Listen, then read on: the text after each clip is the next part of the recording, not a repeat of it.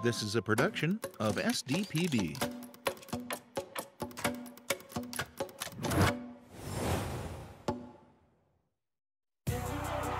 Touchdown! This is for a state championship. Oh, drive kick and it's good. There's going to be some highlights coming off of this. The short range jumper. Edging out in lane four, the top seed. This South Dakota High School State Championship event is conducted under the direction of the South Dakota High School Activities Association.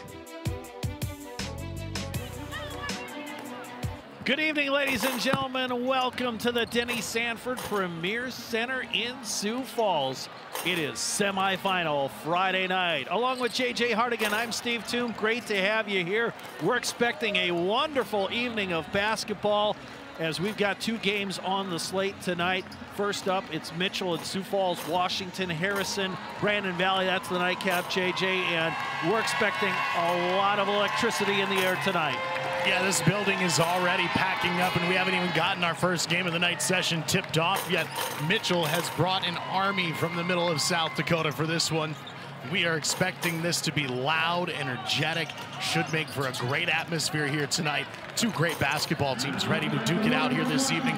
Four teams are fighting for two spots in the semifinals. That will be decided here tonight. We are ready to tip things off. Two of the most storied programs in basketball history, far as the big schools are concerned, in South Dakota matching up tonight. A lot of history echoing through the halls here at the Denny Sanford Premier Center. The Washington Warriors. Believe it or not, their first title was back in 1916. Hmm. That's how far back that school dates to. Of course, now known as Sioux Falls, Washington. Jeff Tobin leading this crew, and they played Mitchell back on February the 13th and they lost to Mitchell 60 to 55. Close ball game there. You see the Warriors coming down the stretch with some big wins, and they beat Pierre in the Sodak 16 round to get here. Uh, that was a 52-47 ball game.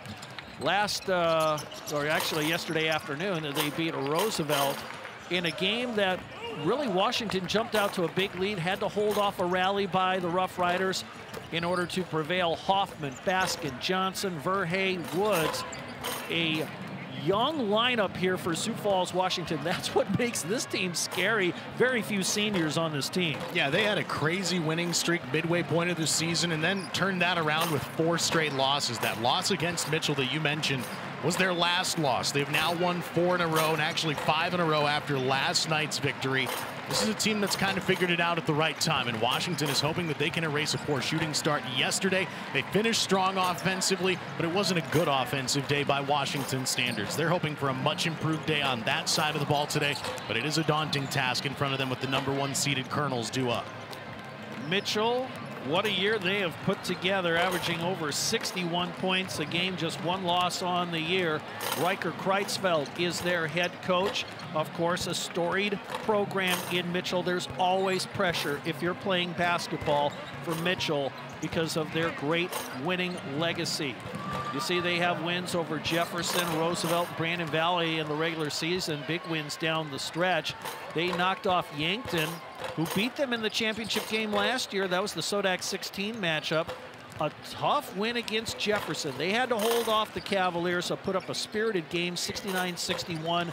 That was the game in the first game of the day yesterday as the uh, Colonels got uh, contributions from Marcus Talley, Colton Smith, Gavin Sopo, and Gavin Hinker, all in double figures. As you look at their lineup, they got just one senior, couple of three juniors and a sophomore. Again, a lot of youth here for the Mitchell Colonel team that uh, is very versatile, dynamic, and they can hit you from a lot of different angles. They certainly can. This team has won more games than any Mitchell Colonels team since 1985. That was a 19 and 1 record that year. Since then, no team has matched their win total. Now at 21 wins on the year, they're entering today with a 15 game win streak. Have a chance to extend it a bit further. And in the back of their minds, I'm sure their one loss, which came against Harrisburg 62 to 53, about a third of the way through the season, they could very well be facing that team tomorrow night in the championship game if all goes well and according to plan. But again, you've got Washington in their way in this one. Brandon Valley has thoughts of upset victory, perhaps in their matchup against Harrisburg. So there's no guarantee we'll see that one. But boy, it would be exciting. Let's turn it over to Greg Thompson. In the South Dakota Double A Boys Tournament, the South Dakota High School Activities Association, along with its corporate partner Lake Area Tech, welcomes you to this game. The tournament is being conducted under the guidance and regulation of the South Dakota High School Activities Association for the enjoyment and benefit of high school students. Good sportsmanship is essential for the success of these programs. We hope you'll just enjoy the game and support your athletes in a positive and sportsmanlike manner. Ladies and gentlemen, would you please stand as we honor the flag of our great country with the playing of our national anthem? Today's national anthem will be played by the Dell Rapids Pep Band, directed by Carla Pulscher. We remind all in attendance that the proper respect is to remove your hat, face the flag, stand at attention with your right hand over your heart. Veterans in active duty, not in uniform, may salute the flag. Ladies and gentlemen, our national anthem.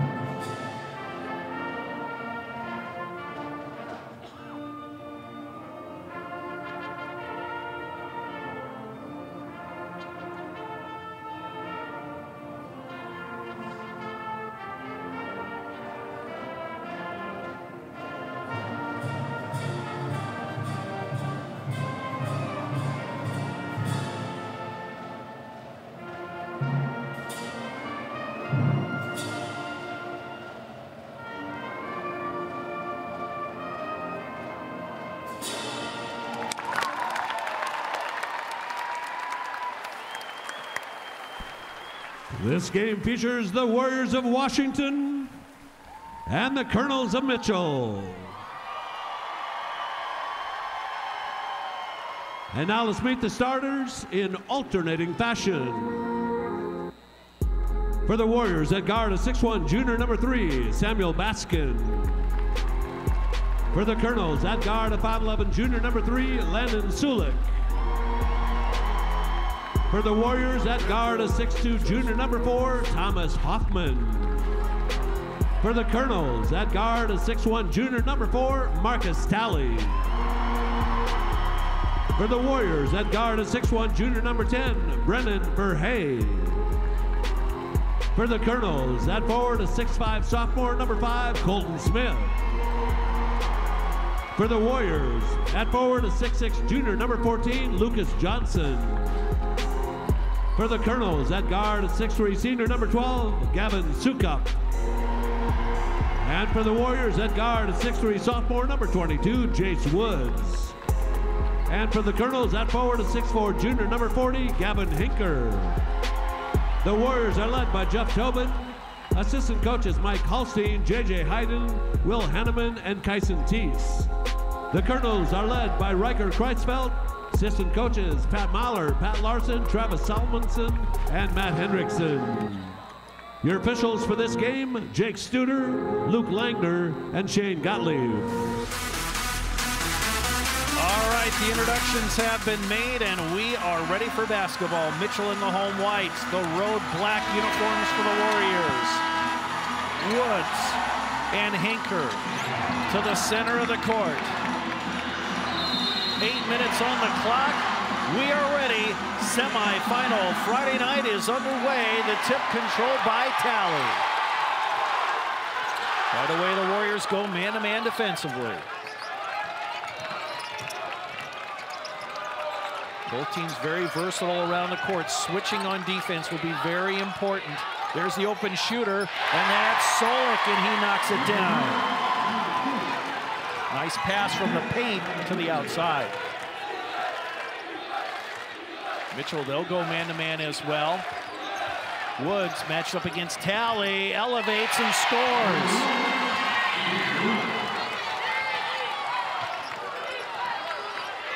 Both these teams have guys that can really sky and are very versatile as there's the drive and the shot is blocked, but Hinker had it, lost it, jump ball, players tumbling, possession arrow will favor Washington.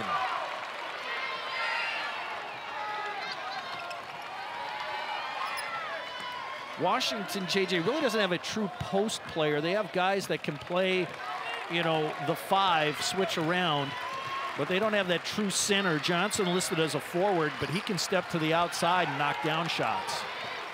Yeah, it's going to be a challenge today for both teams. They are so good defensively, getting clean looks. Not going to be easy to come by. You got to take advantage of them when they are presented to you. Talley is fouled, and he'll get two free throws. He had 22 points yesterday.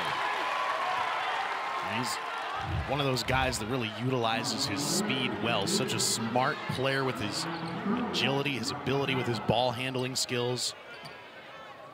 70% free throw shooter on the season. He'll get two here.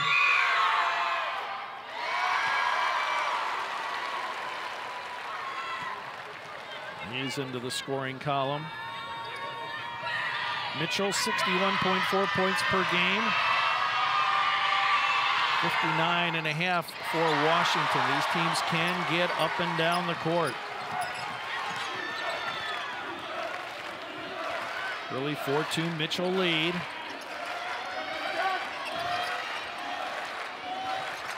Hoffman had the big game yesterday with 17 points. Really lost the handle. Woods, he'll launch it from outside, and he's got it. It's a three.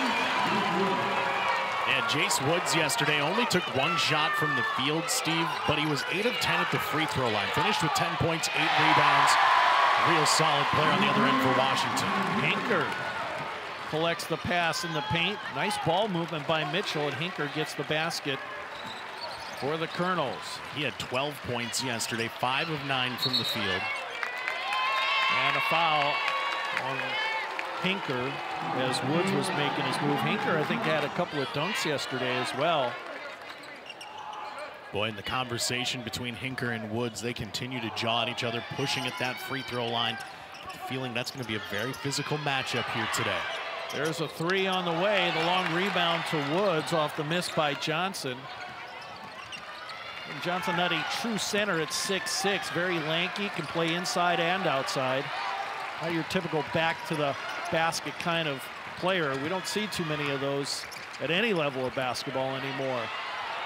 Shot, basket, no good. Never touched the rim. Hoffman launches short. Rebound tipped by Solik into the hands of Smith. Talley on the move, drives, lefty scores. Well, that is such a nice finish for Talley. We've seen twice today his ability to tack the rim go up and sometimes in mid-motion kind of redirect where he wants that basketball to go. That was not an easy finish. He made it look very easy. Great body control in midair. Nice dump off pass by Hoffman. Into the paint, out of bounds. It goes to Mitchell. You mentioned Mitchell, the last time they had this many wins, 1985. Yeah. That was the last year of the two-class system. By the way, Mitchell won the state title in Class A that year. Yes, they did. 21 victories this year. It has been an impressive run for this Mitchell team. Last time they played Washington, in case you missed it in our open, it was a five-point game. Mitchell winning that one. Solik for three, no. Long rebound into the hand of the Warriors. Washington gave them a run and really gave them all they could handle throughout much of that game. It kind of got away from them in the fourth quarter of that contest, but they know what it takes to kind of go punch for punch with the number one team in South Dakota. Talley on the break with the right hand. No, the tip in good. I think that was Smith, and it was in the crowd of players under the basket for Mitchell. Colton Smith led the charge yesterday, 16 points, 10 rebounds, got himself a double-double in the opening game of the uh, Double A tournament. Oh, we got a foul on the block attempt. That foul will be on Hinker, and that takes us to a timeout on the court. It's a good one so far. Mitchell up 10-5 on Washington. Back in a minute on SDPB3. We hope you're a fan of stories about heroes because we'd like you to meet a few of ours. These folks keep our communities moving forward. They're dedicated to being here for you, navigating change, keeping you secure, and offering a helping hand to those who need it.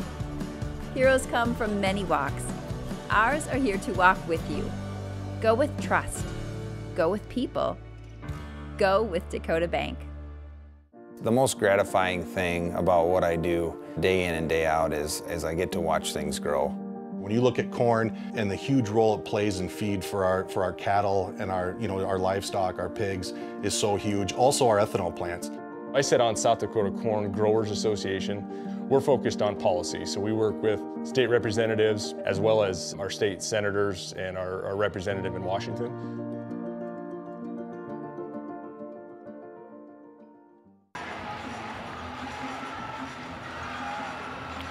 A lot of fans wearing gold in the stands tonight.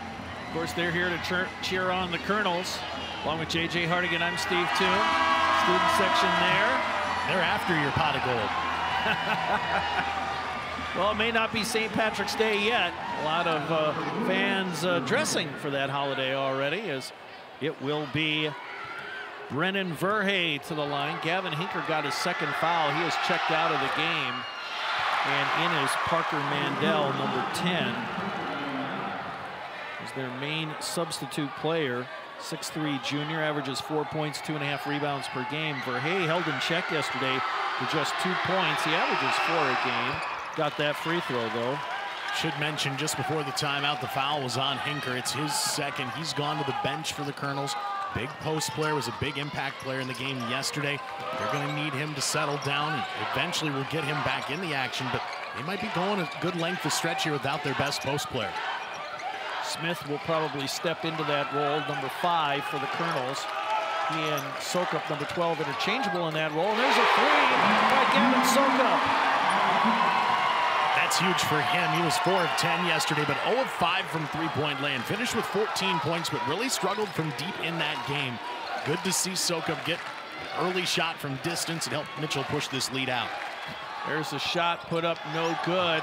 Smith tips it to himself off the miss by Lucas Johnson. Talley working, picks up his dribble. Oh, a pass underneath, but a nice place by Verhey to intercept. Pass up ahead. Here's Johnson, doesn't have anything. Verhey throws it to the middle of the court, but waiting was Talley. Outlet, two on two. Smith and travel. Sub in, sub in for Washington. Here comes Benjamin Sprecher, number 34. And Smith thought he got fouled on the way up there, but took the extra step. Washington's done a good job of hustling back defensively so far, despite the offensive struggles. Now three and a half minutes without any field goals for this Washington team. They're over their last four from the field. They're hanging in this game. All it takes is one good possession, turn things around for them. That was a good look there by Woods, the rebound of Mitchell. Talley, he can pull up from three, but he'll drive instead. I think it was blocked out of bounds to Mitchell.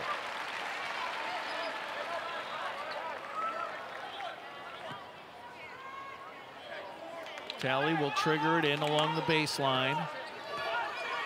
Mitchell, five of eight to start the day offensively at 63%. Oh, they go back door, and Mandel scores. Great passing by Mitchell. It really is. It's just unselfish basketball the Colonels bring to the floor. They knew they had the extra pass there. Could have easily been a 15-foot jumper, but you take the high percentage shot right next to the rim, and it works out for Mitchell. Woods lost the handle into the hands of Sukup. They'll settle things out with Solik. Mandel, here's Sukup for three. Bingo! Jeff Tobin has seen enough. Timeout. Washington as Mitchell has roared out to an 18 to 6 lead. Boy, and listen to that crowd. Mitchell basketball, it's been such a big thing in South Dakota for such a long time. They've had this team in front of them all year long, and they knew they had something special, but now getting a chance to showcase it the highest level of boys basketball in the state of South Dakota, and they have come out gangbusters here today. A couple big threes from that young man right there. Soka, six points already, two for two from distance. He was sorely missed yesterday in the three-point shooting. Again, we mentioned going 0 for 5 as a team yesterday. Mitchell was just 2 for 14.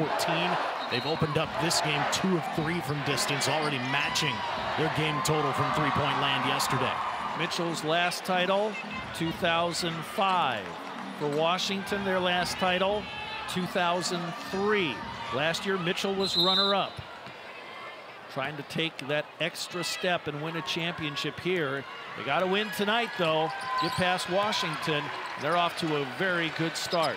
Backdoor cut, nice play, and it rolls off the rim on the miss by Hoffman. Oh my goodness gracious. Talley might have been partially blocked, but there's Verhey feeding it down low to Smith. What a pass. Was Parker Mandel who made that pass. Boy, Washington, they need a bucket in the worst way. Hoffman will line up a three, and boy, did they need that one. Yeah, he had started the day 0 for 3, including 0 for 2 from deep. The offense had really struggled there. It was a 10-0 run for Mitchell over a two-minute stretch, a 16-1 run over a five-minute stretch. Offensive foul on Smith as he was clearing out position, might have hooked the arm signaling to his coach, hey, I didn't foul him.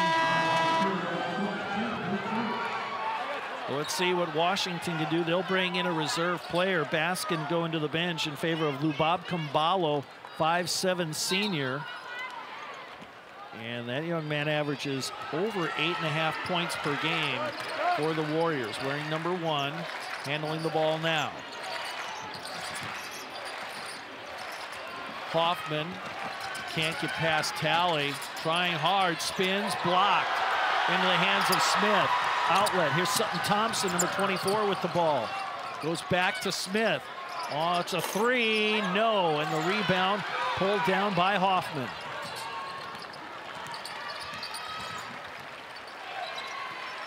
See what the Warriors can do on offense here. See if they can have a strong closing of the period. Oh, there's a pass, and it's going to come right to our broadcast location.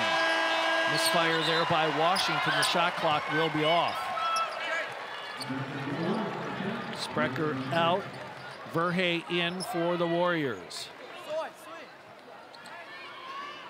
Now the Colonels can put an exclamation point on this period, depending what they do here on this possible final possession of the quarter. And Mitchell looks to be in no hurry whatsoever. Washington's going to drop into it Looks like a 2-3 zone. They're just going to hang out.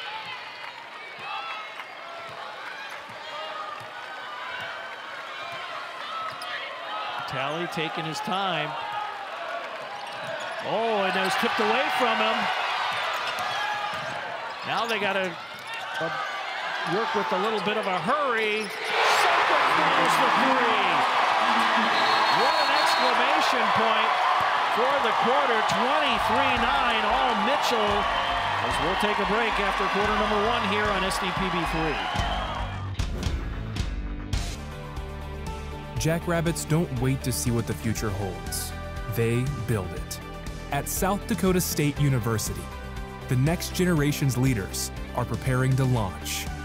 They're focusing on growth, and they're reaching new heights of excellence across vital industries. SDSU is building something greater for South Dakota and the world.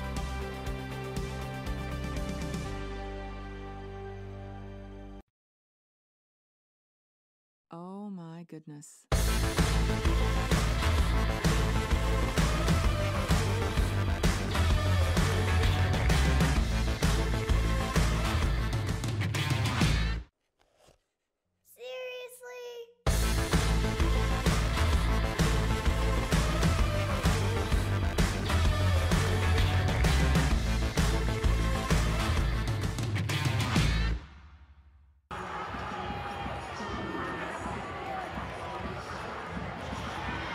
Mitchell off to a great start here in our first semifinal of the night. Along with J.J. Hardigan, I'm Steve Toom. Is wow, what a hot start for the Colonels. They are red hot from the floor, J.J. Yeah, they certainly have been so far. 23 points in the opening quarter on 60% shooting, 9 of 15 from the field overall, 3 of 5 from three-point land. Really the rebounding in favor of them, 9 to 5 in this one. It's just been a very dominant opening stretch of basketball here. 10 of the 23 points for Mitchell have come inside the paint so far today. Six have come off of fast break opportunities. Foul on Washington on the pass into Smith. And that will be on Jace Woods, and that's his second. Remember, Gavin Hinker went to the bench at the uh, official timeout, and that hasn't slowed down Mitchell at all. Sukup drives, scores. Boy, he is feeling it tonight with 11 points. Yeah, we mentioned yesterday, 14 points in almost 27 minutes of basketball. Really struggled from the field. 4 of 10, 0 of 5 from three-point land. Put up that big point total by going 6 of 7 at the free throw line. Great fake there by Johnson get the defender in the air. And that is a foul on Colton Smith. Now that's his second foul. Yeah, this could be trouble for the Colonels already. They got Hinker in foul trouble with two. He's about to check back into the game. Smith will retreat to the sideline, one would assume, with the foul trouble. Boy, and he will. Yeah, and Johnson misses the free throw there. And when you're down by this many points, you have to take advantage of every opportunity to score, especially when the clock's not moving. Woods out, Sprecher in for the Warriors. And he missed them both.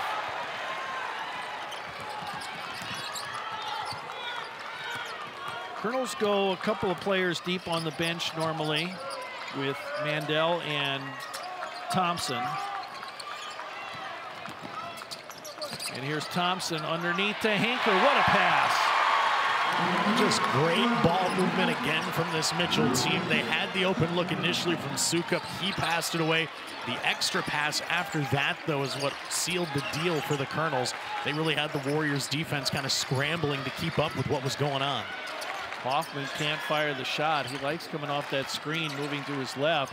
Baskin, the three, no. Talley, the rebound. It's Great court awareness, does Talley.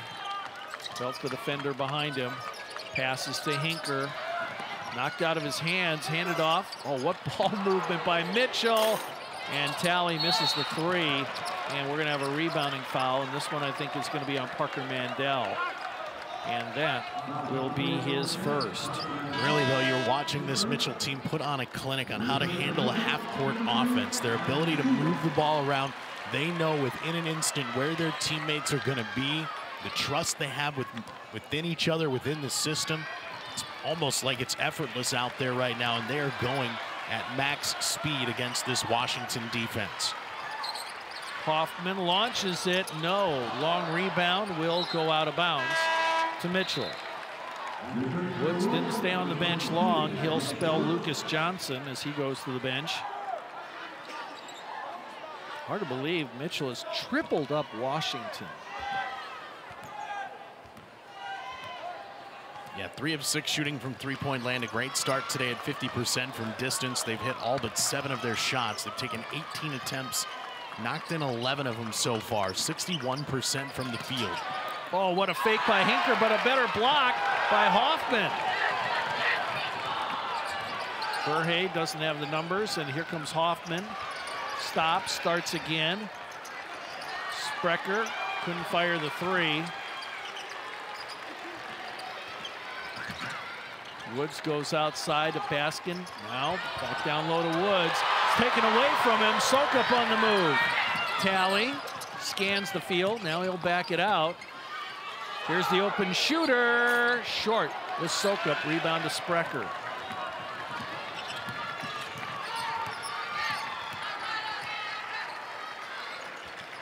Baskin's been relatively quiet, yet to score trying to make something happen, forces it up with the left hand, and Mandel collects the rebound for Mitchell.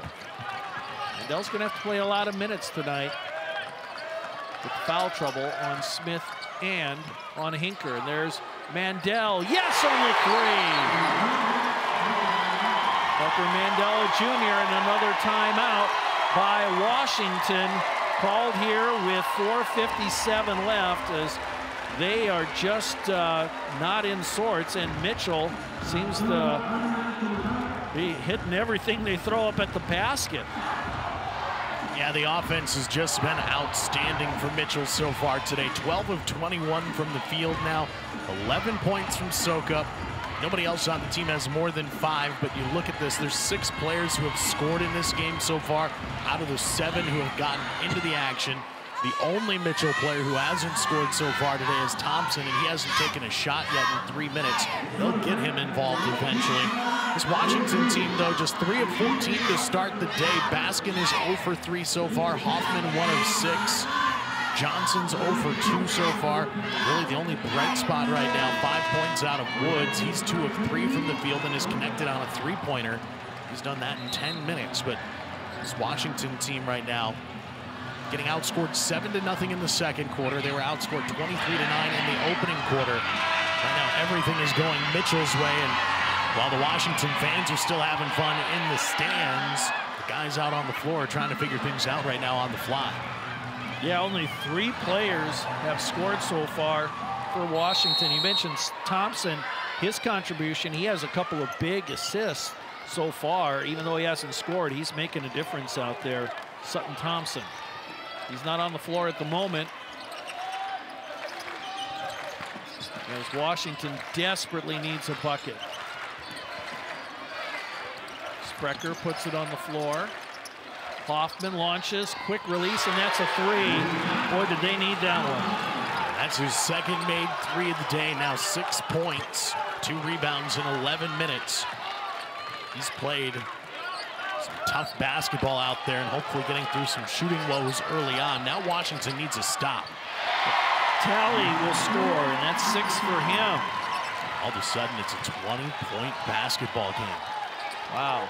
And Washington fans kind of shocked here as Hoffman kicks it to Baskin, misses everything. Mandel will be called for an offensive foul, and that is his second as he was bringing it up court. Timeout on the floor, 4.01 left until halftime. It's been all Mitchell Kernels here. Back in a minute on SDPB 3.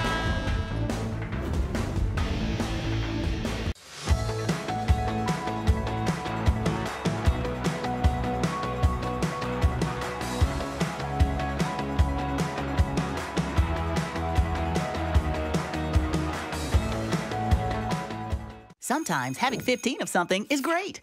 Like 15 pizzas. Oh, nice. But for days of class missed, 15 or more is not so great. The best way for students to own their tomorrow is being present today. See why good habits matter at showupsd.com. A community is more than buildings. It's where you live, where you work. Community is being there for each other lending a hand when your neighbors are in need. Community is all of us coming together for a greater purpose. This is community. This is Lloyd.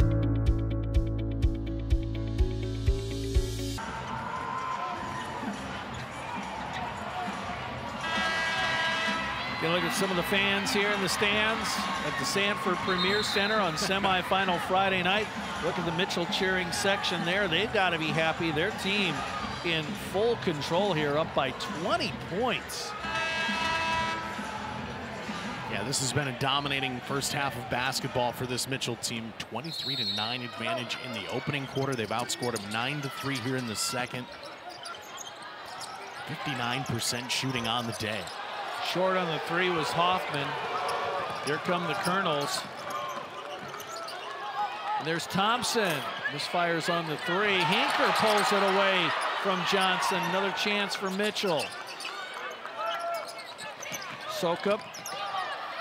Nice pass inside and the finish by Hinker. The passing inside for Mitchell, impressive.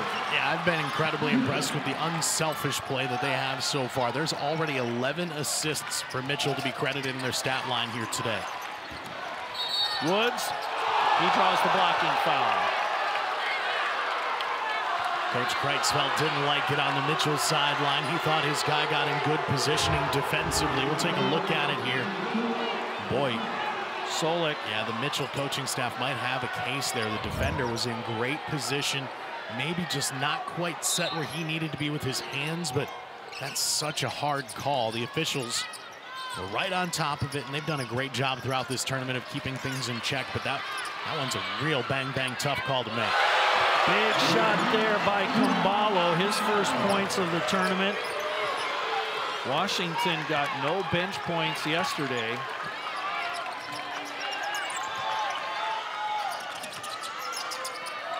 Sukup will swing it around to Thompson. Talley thought about it. Sukup open three. No. Rebound tipped around to the outside. Here's Johnson on the move. And he is going to be fouled. Look out. Yeah, our camera guy almost got leveled there. Basketball players flying into your home screen here. This was a ferocious race to the finish line for both teams.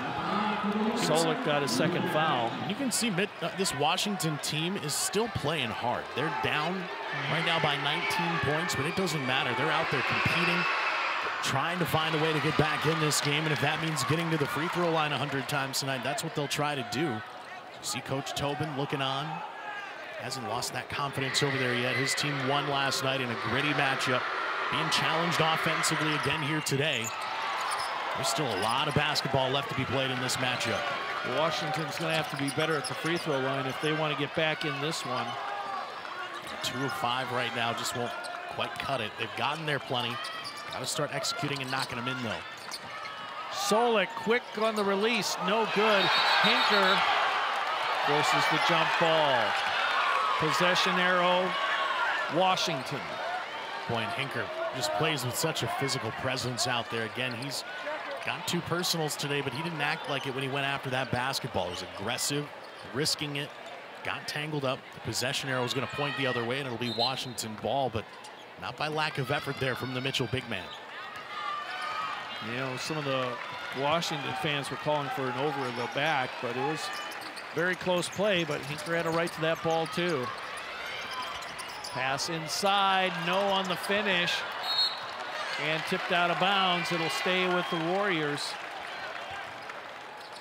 Seven fewer shots today for Washington than Mitchell has at this point, but they've had to work for every single inch of separation from the defense. Every single shot has a hand in the face, if not a double team in the way. This Mitchell team defensively is just as strong as they are on the offensive side, and they've made it very difficult for Washington.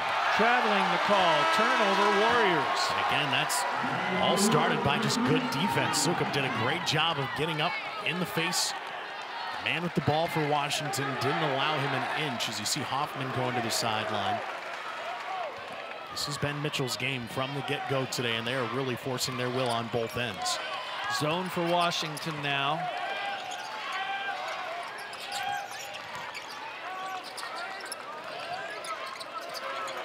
Swinging around the Talley, fakes the three, drives in. Sukup, oh, what a fake. Sukup a big range for a guy that's, what, six foot five or so. Talley for three, yes.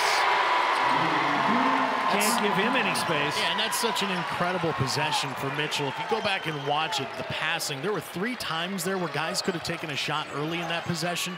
They knew they didn't have to, kept the rhythm going, waited patiently for the opportunity to come up. Talley found the big three. Now they're off and running again. Another turnover for Washington. Sukup a long-range three, no.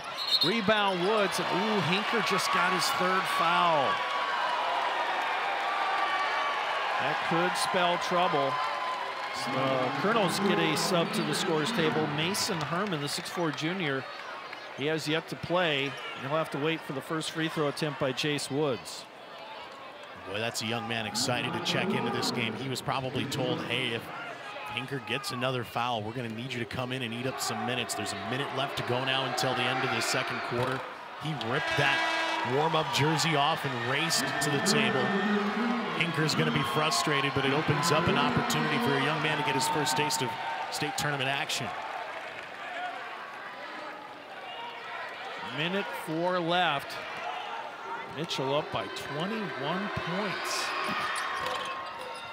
And another missed free throw by Washington. Well, they've been their own worst enemy tonight in some ways, missing free throws, but Mitchell's just been red hot from the floor, executing very, very well. Only negative for Mitchell, some players in foul trouble. Thompson handles the ball, now around to Talley. He'll launch it, no. Rebound Woods, Solik tapped it away. A nice save, but it's over and back. Nice effort there by number 33, Herman. Kind of tossed it to the only teammate he saw, but unfortunately he was in the backcourt. Another sub in from Mitchell, Nicholas Moeller. He's a senior, and he'll spell Solik. So some reserves getting in here to play out the final 33 seconds for Mitchell, but they're up big.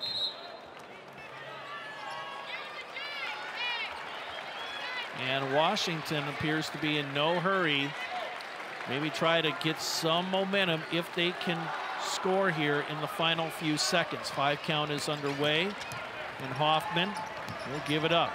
Now get it back from Baskin. 15 seconds left. Lost the handle momentarily. Now the bounce pass to Woods. Oh, he double dribbled, I think. Nope, the foul. 5.6 seconds left. And that will be a foul on Mason Herman. And that is the 15 foul, or they're already over the limit. So Woods at the line 0 of 2 on the night. There he connects on one. Give him six. Sprecher standing by to check in for Woods. He's at the scorer's table. If he can make the free throw.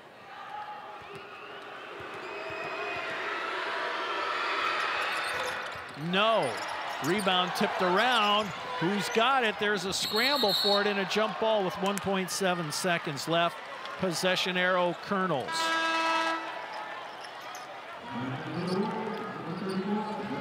That will bring Sprecher into the game for Woods. I think Mitchell with this big lead just wants to get the ball in bounds safely, not turn it over. Up by 20 points. Thompson will get it in. So he'll just hold on to it. That is how we will end our first half of basketball. What an impressive performance by Mitchell. They outscore the Warriors by a score of 20, or by a score of 14 to 8 as they were dominant here in this second quarter of play. J.J. Hardigan standing by with Coach Kreitzfeld. Yeah, thank you, Steve. Coach, a good first half for you guys offensively. The three was falling for Sukup here in the first half. The energy there, electric for your team here early on. Yeah, our guys were ready to play, and they were, they were excited. Uh, we were nice to see the ball go through after yesterday. You know, we went four and a half without scoring, but it was because we played inside out. I thought we got away from that in the second quarter. We didn't, and fouls trouble didn't help. Uh, Colton being on the bench a lot of that quarter, but uh, hopefully we can get back to that in the second half. The ball movement from your team supreme in that first half. What do you like most about what you're seeing from your guys? Uh, the confidence, not being afraid to shoot it, not being afraid of the stage. We're getting contributions from everybody. Coach, best of luck the rest of the way. Thank you. All right, thanks, JJ. We'll take a break and we'll come back with halftime activities in a moment right here on SDPB 3. Dreamer, doer, difference maker. These are just a few things we look for when growing our team at Dakota Bank. Those with empathy and a commitment to doing what's right build their careers with us. If you're about relationships and helping others, Dakota Bank is calling. Will you answer? Go with integrity. Go with teamwork. Go with Dakota Bank. The most gratifying thing about what I do day in and day out is, is I get to watch things grow. When you look at corn and the huge role it plays in feed for our for our cattle and our you know our livestock, our pigs is so huge. Also our ethanol plants. I sit on South Dakota Corn Growers Association. We're focused on policy, so we work with state representatives as well as our state senators and our, our representative in Washington.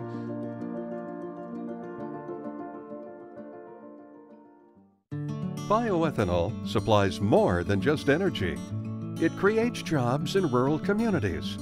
It drives demand for local corn. It provides opportunities for family farms to thrive. To ensure agriculture plays a leading role in the efforts to decarbonize and transition energy, bioethanol remains at the forefront of a pursuit for a cleaner, brighter future for all Americans. Learn how at sdethanol.com. Coverage of the South Dakota High School Activities Association event is made possible by a partnership between the SDHSAA and SDPB. Sponsors of SDPB's coverage include Dakota Bank, South Dakota Corn, and by Lloyd Companies, Bank West, South Dakota State University, the South Dakota Department of Education, and by your membership in the Friends of SDPB.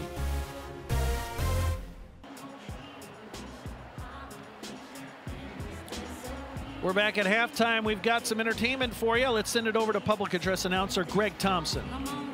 Irish dance dates back nearly 2,000 years and has evolved from the dances of the Celts performed at spiritual events, rituals, and celebrations.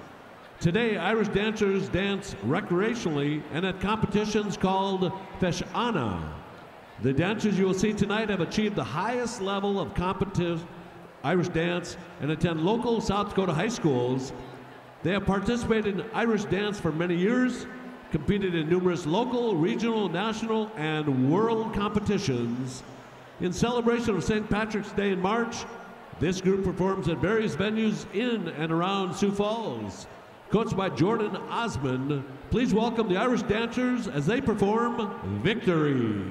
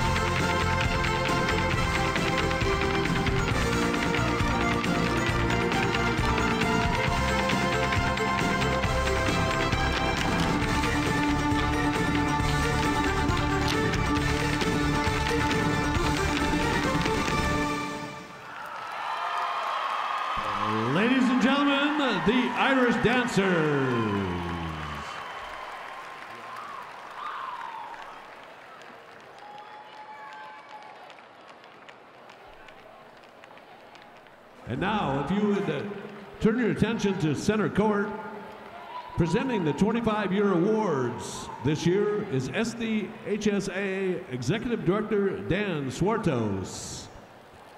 Our first 25 year official, Scott Jansen. Scott Jansen grew up in Sioux Center, Iowa. Growing up, he played football, basketball, track, and baseball. He, began, he began officiating football in 1998 on Dale Buckelman's crew. He's remained with them for many years before joining the crew of Jim Ricketts Jr. Scott has been fortunate to have officiated in four South Dakota High School championship games. He and his wife Diane have two children, his daughter Jody and her husband Noah, along with two grandsons, Griffin and Ewan. His son Jared and wife Brittany, along with two granddaughters, Quinn and Hazel. Ladies and gentlemen, Scott Jansen. Jeremy. Jeremy Grady.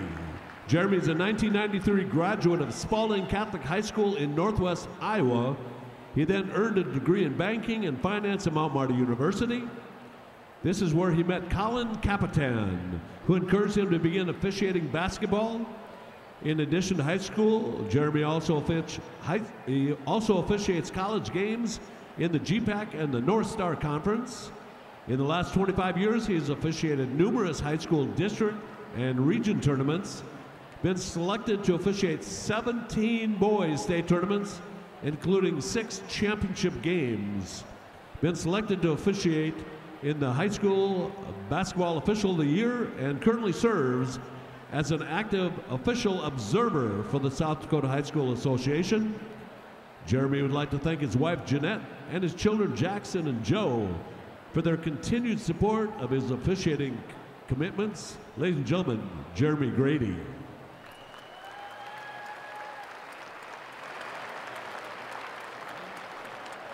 Dennis Hines.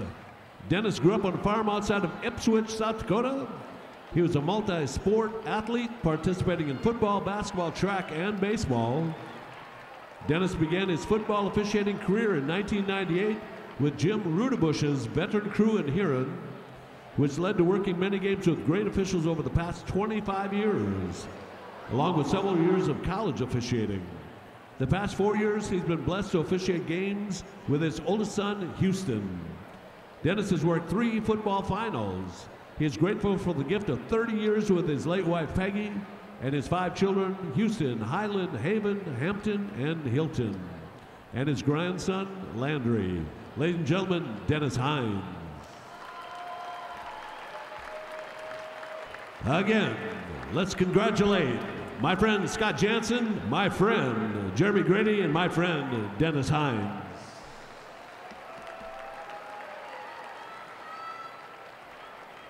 And now, presenting the Hall of Shrine is former SDHSAA Executive Director Wayne Carney.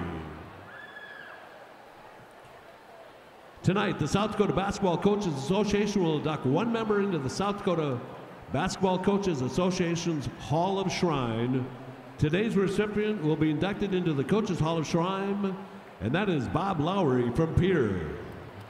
Bob is a 1972 high school graduate of Superior High School, received his Bachelor of Science degree from Peru State College, and finally his Master of Science degree from SDSU. During that time, he began coaching at Vermillion High School and continued for 17 years. In 1985, he became the athletic director and served as chairman of many district and region basketball tournaments. In 1994, he became assistant executive director of the South Dakota High School Association until he retired in 2012. Bob and his wife Diane have four children Brian, wife Jennifer, Brandon, wife Crystal, Brad, wife Rachel, and Brittany, husband Jeff. They also have 12 grandchildren. You can find Bob's full bio in the tournament program. Ladies and gentlemen, Bob Lowry.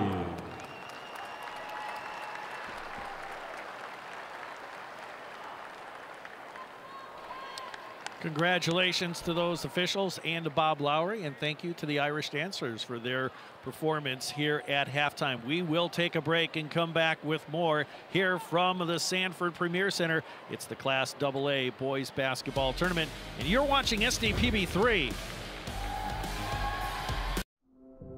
There is a new world out there, revealing itself in unpredictable ways. A world that demands more from the land and those who grow, farm, and build on it. This new world calls for the ingenuity to get more out of it, while preserving as much as we can. After all, to stay ahead of tomorrow, we need to be equipped for it today. Dakota Plains New Holland dealers proudly support high school athletics. At Bank West, our relationships are everything. They reach beyond banking. We're committed to understanding your vision and upholding your values as partners in your success. Building a future filled with opportunity. BankWest. The word cooperative means working together for a common purpose. At Agtegra Cooperative, we are dedicated to supporting the success of our farmers and the health of our communities for generations to come. Rooted in our communities, Agtegra strives to instill dedication, determination, and integrity in everything we do, and that includes inspiring the next generation of agricultural leaders. This is the PBS app. It's ready for you whenever you want full episodes of your favorites, perhaps a little history, or the real story, shows with heart, or the latest news and docs. Even stream your local station live. It's all there waiting for you. So download the PBS app now for everything you love and a whole lot more to explore. Stream anytime, anywhere with the PBS app.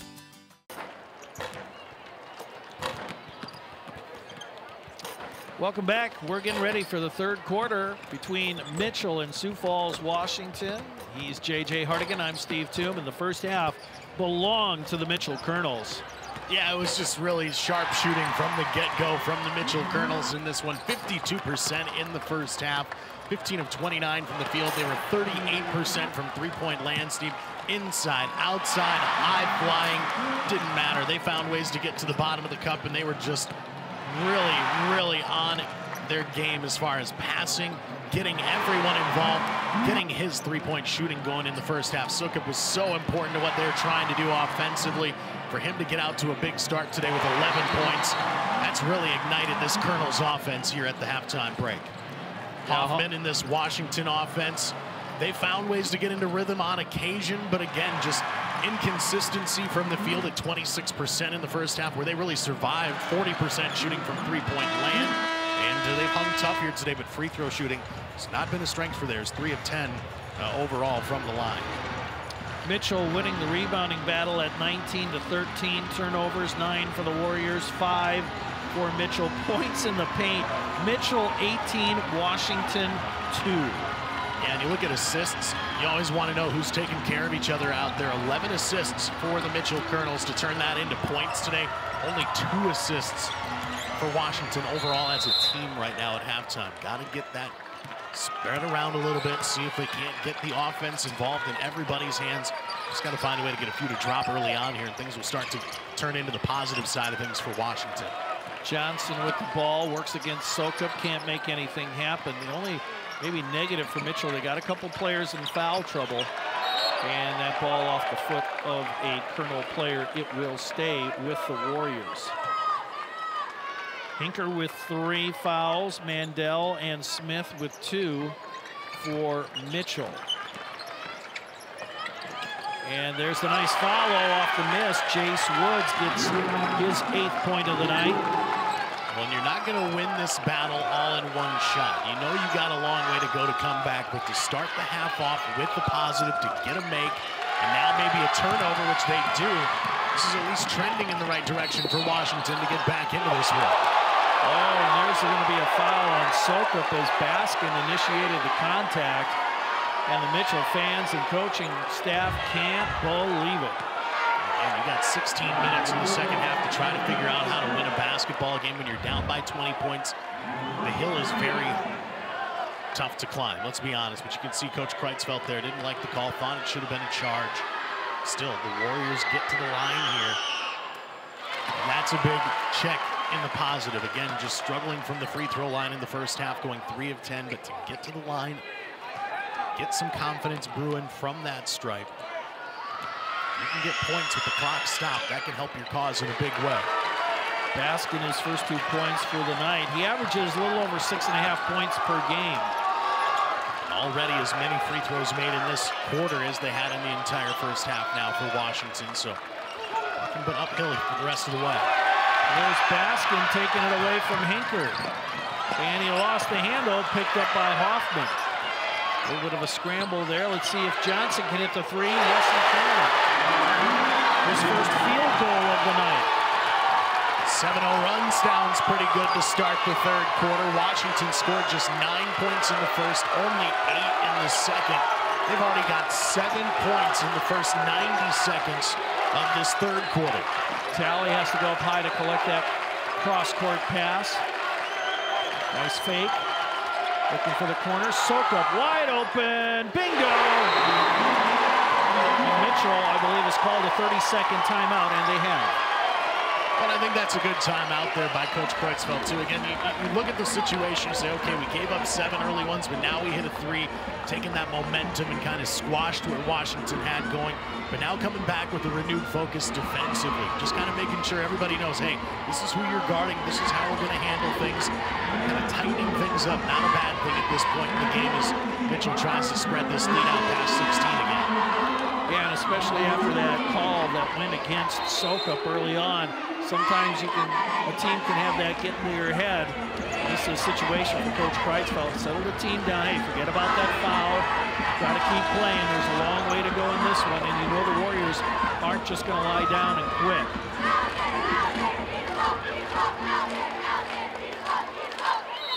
Look at all the sights and sounds inside this beautiful facility. Lots of fans packed in on this Friday night. We had a pretty good crowd last night. We expected it to be much bigger today, and it, it is. It's probably twice the size of what we had in last night's final two games. That ball got tipped. Play will continue on. A great turnout here from the Double-A fans in Sioux Falls. Hoffman will get some free throws. Sioux collects that foul. And that's going to be Smith. And that's his third. Yeah, so now you've got Smith and Hinker each dealing with three personal fouls of living dangerously with your two top players in foul trouble. Again, you're up by 16, so it doesn't bother you so much right now. But this Washington team keeps putting the pedal to the metal and fighting their way back into this game. It might become a factor at some point. You know that they circled that up at halftime saying, okay, who can we kind of put a bullseye on their back and attack when we're on the offensive side to maybe force them into foul trouble a little bit further. And Mitchell normally plays man-to-man, -man, which is potentially riskier. Wonder if we'll see him switch up and go to his zone.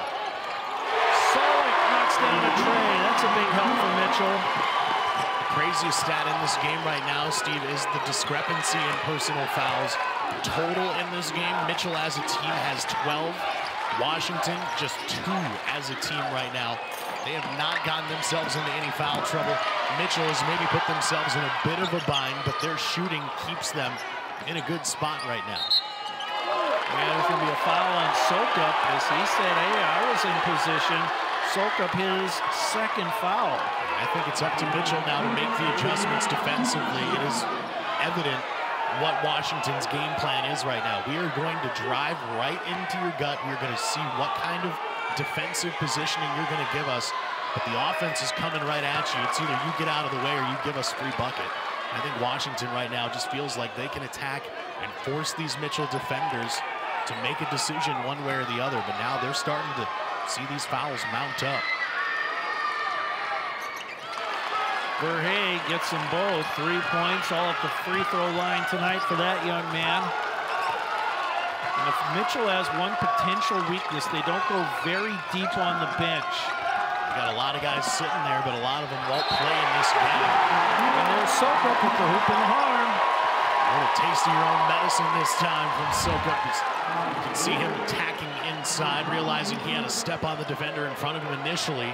The help defense a little late. Now he's got a chance at a three-point play. Hoffman the foul, his first.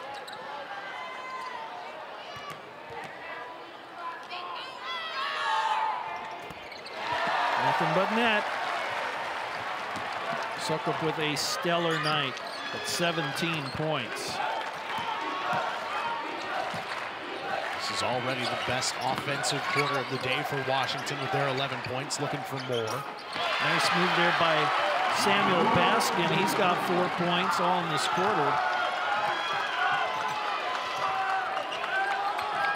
Talley with the drive, the floater, in and out. Hinker, the rebound and the putback. He's got eight.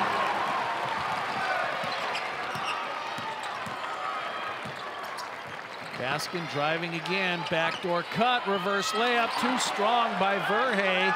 Outlet, Talley. Tough layup attempt, no good. Johnson comes the other way now to Baskin. Oh, nearly lost the handle.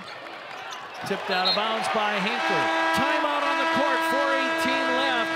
Mitchell up by 18 still, back in a minute on SDPB 3. We're trying to promote the Descendants of Doom tour, you know, trying to make everybody look kind of metal and, you know. Menacing, menacing. Uh, the band just got covered by Delta Dental, so they kind of can't stop smiling. They need to look more metal, and they don't look metal. What do we do? Pop off a few more, see what we get. Give me some metal. All right, yeah. Three, two, one.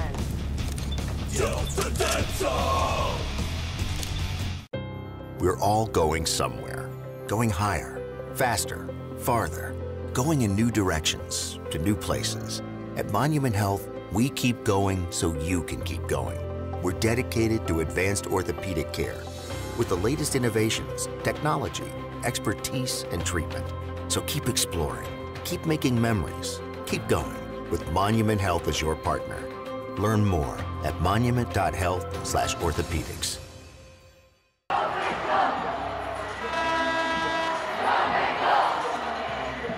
That is the Mitchell mascot, Cornelius the Colonel. He's got to be liking what he's seeing. They're in the Mitchell cheering section. Their team up by 18 points here in the third quarter. Along with J.J. Hardigan, I'm Steve Toomey. Great to have you here on a Friday night, semifinal Friday night. As the Warriors trying to battle their way back into this one, they've scored 13 points in this quarter. Mitchell has scored 11. Sprecher Always in trouble, has to dish it to the outside, collected by Hoffman. Hoffman a long three, no. Rebound Smith.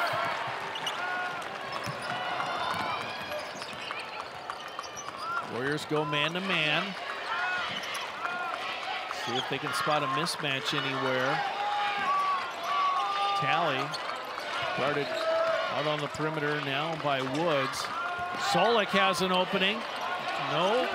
Rebound, Smith fighting for it, shovels it underneath, but it goes to Woods. He's working against Soka, pulls up and scores. 10 for Woods.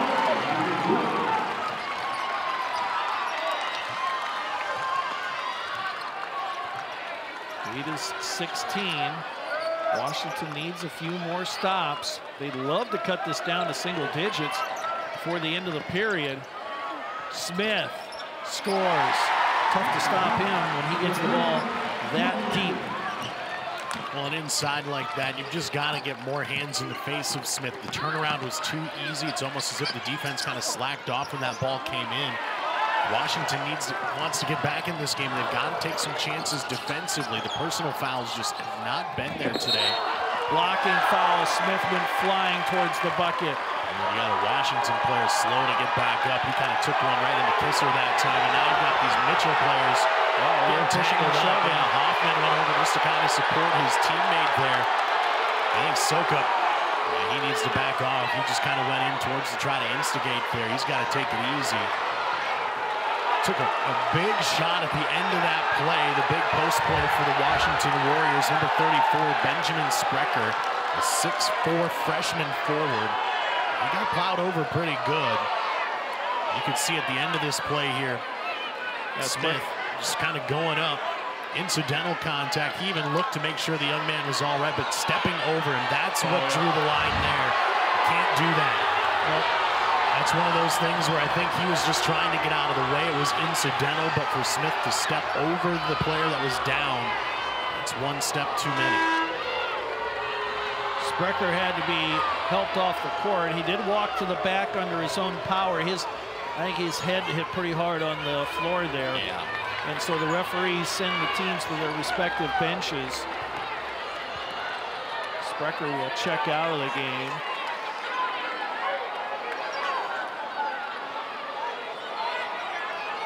Smith will go to the line for two free throws. Not seeing Sprecher on the bench here at the moment. I think he may have been sent back to just get evaluated for the moment.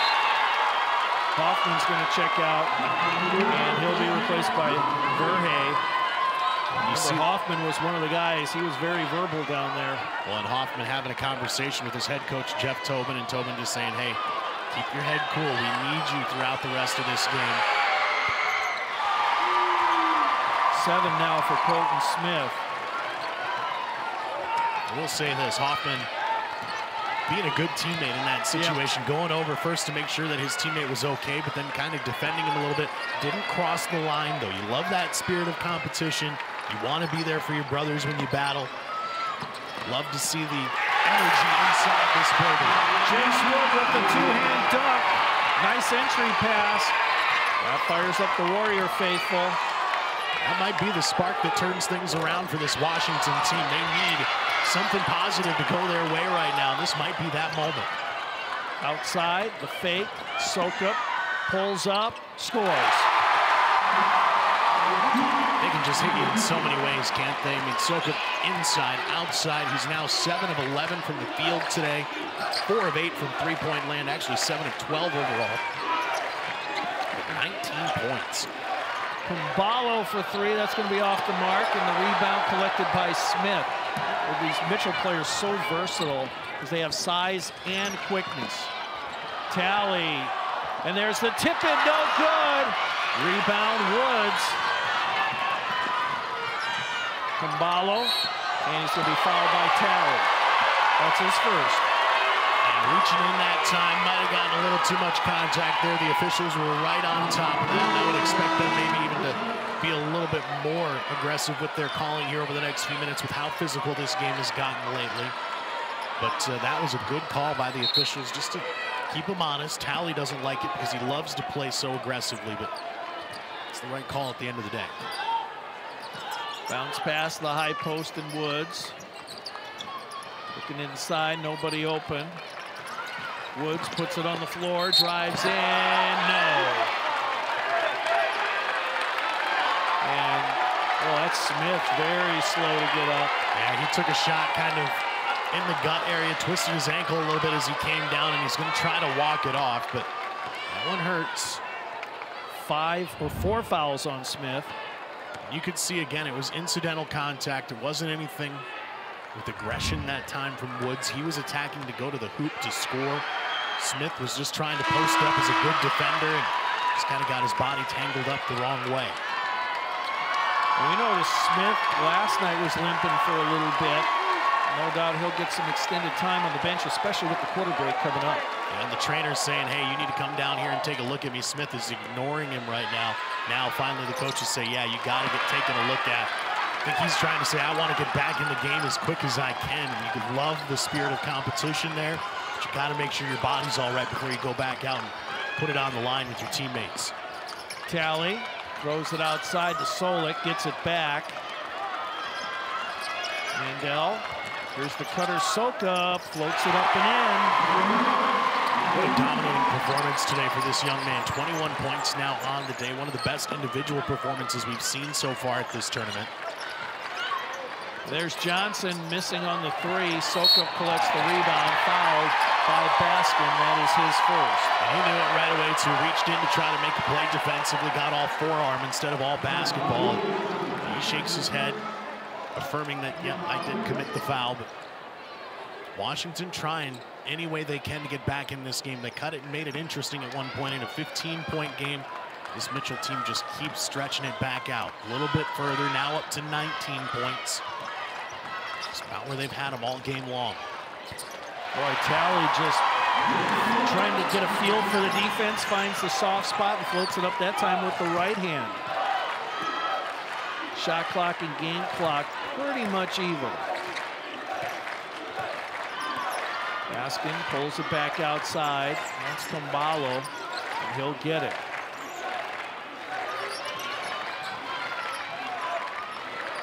Guarded by Talley. Five count underway, but he advances.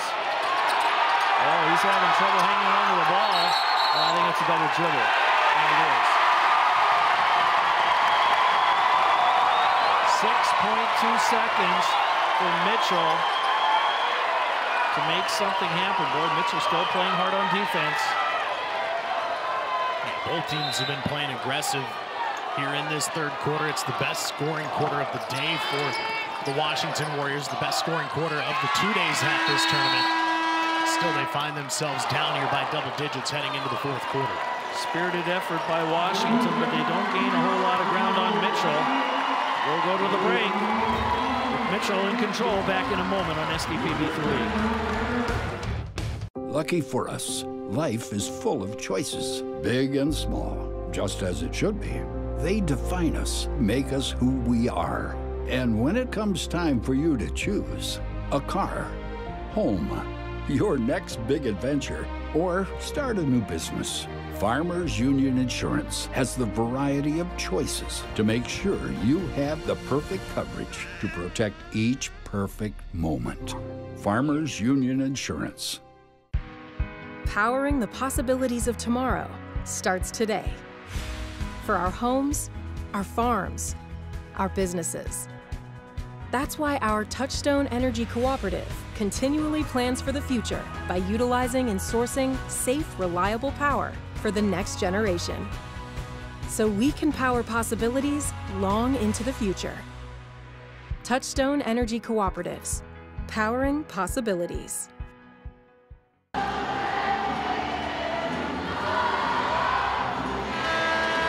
Get a look at Jace Wood putting it down with two hands. One of the bright spots for Washington in that third quarter. They played much better, scored 19 points. The problem for Washington is that Mitchell scored 20 and extended their halftime lead by a point.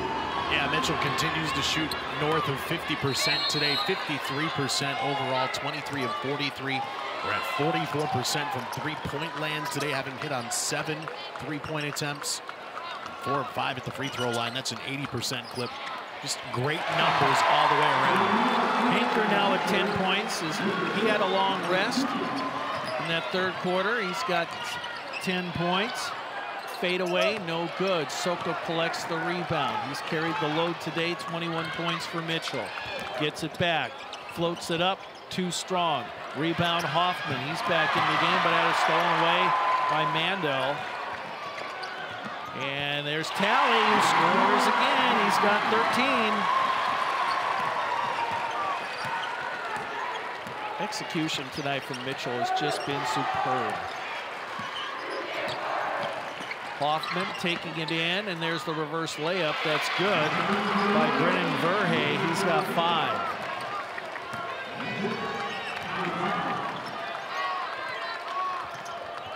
It's not easy to win 15 games in a row, Steve, but you can see why this team is currently riding a winning streak like that. This is a team that just looks so poised. Their only loss of the season, again, came against Harrisburg on a bad night where they just got outscored by nine points in a 62-53 loss. Otherwise, wins in every game this year.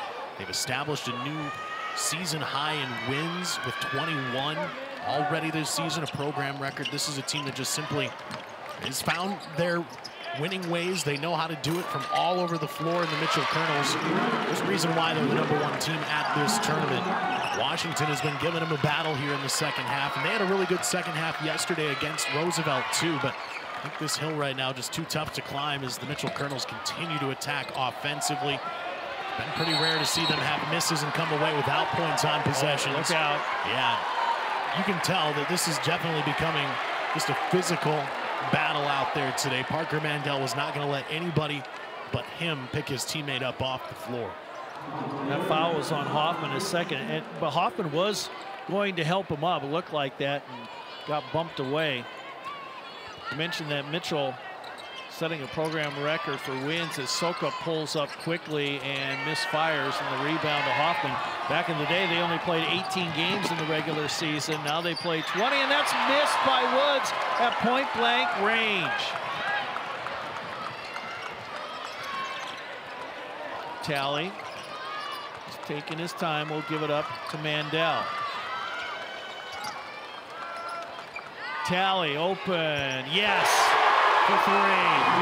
Just a well-oiled machine are the Mitchell Colonels tonight. Well, if in fact they do punch their ticket to tomorrow night's championship game, and it's starting to look more and more like that could be a reality, Whoever's got this Mitchell team due up in that championship game is going to have their hands full. You pick your poison. Talley with 16 points tonight. Sukup with 21. Nine for Smith. Hinker has eight. He's been in foul trouble. So is Smith. If they're on a good night and they're not in foul trouble, Steve, they're probably in conversation to be the team's leading scorer. It's just a four-headed monster. You could really go five, six names on there that could contribute at any moment for this Mitchell Colonels team. They can hit you in any way possible. If they're not going to be making their buckets, they're probably going to the free throw line. A lot of times they're hitting you with threes, steals, turnovers. In a blink of an eye, it can turn on you, and you can turn into a 7, 8, 9-0 run before you even realize what hit you. Hoffman got his third foul as the free throw is good by Talley. The versatility of their main players is just on a, you know, it's just special to watch.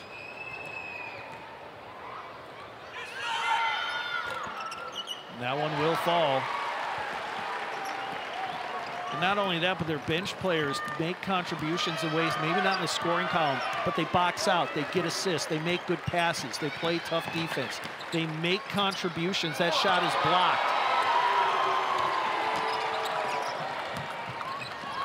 Talley brings it up. Solik. Those guys that provides a lot of defense. Sukup down low, Hinker moving in. Oh, he lost the handle, had to throw it back outside. Talley is open, yes!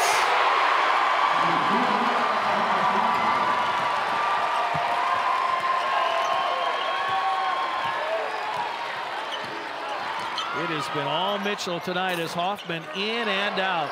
And that's kind of the difference. Talley hit that shot, it was true. Hoffman had a good look, halfway down and spun out.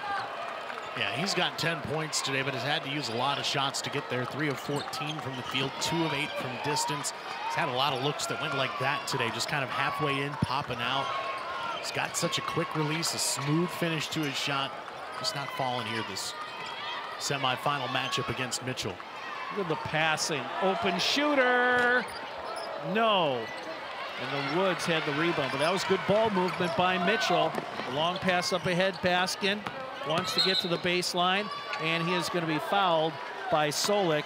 That'll be his third. Timeout on the court with 3.47 left to go. Mitchell in control. Back in a minute on SDPB3. What does primary care mean to us? At Sanford Health, it means being there when and where you need it most. It means building a relationship, because when a provider really knows you, they can deliver the best care for every aspect of your health and your life. So, what does primary care mean for you? It means understanding your health for today and for where you're headed next. It means a lifetime of care for a lifetime of you. We all need insurance to protect our health, our homes, our belongings, and our businesses. But coverage is just the beginning you also need the support of professionals who stand by your side to protect what's important to you. Fisher Rounds and Associates combines the coverage you want with the commitment you need.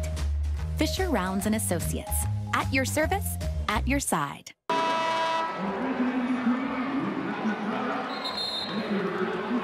Got some young Mitchell fans in the crowd there, and may not be old enough to totally realize what's going on, but they got a big smile on their face, and uh, so do mom and dad, the aunts and uncles, the friends all around them, because Mitchell is in control at 69 to 42 with 3.47 left to go in regulation. Along with J.J. Hardigan, I'm Steve Toom.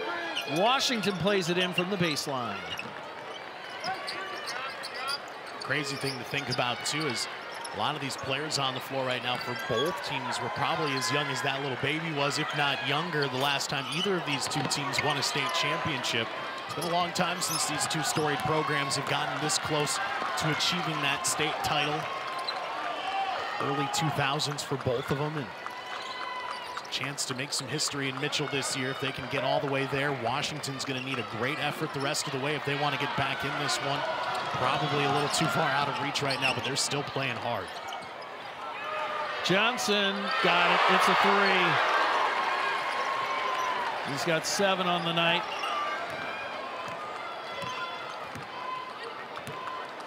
The lead still 24 for the Colonels. Hinker had it tapped away from him.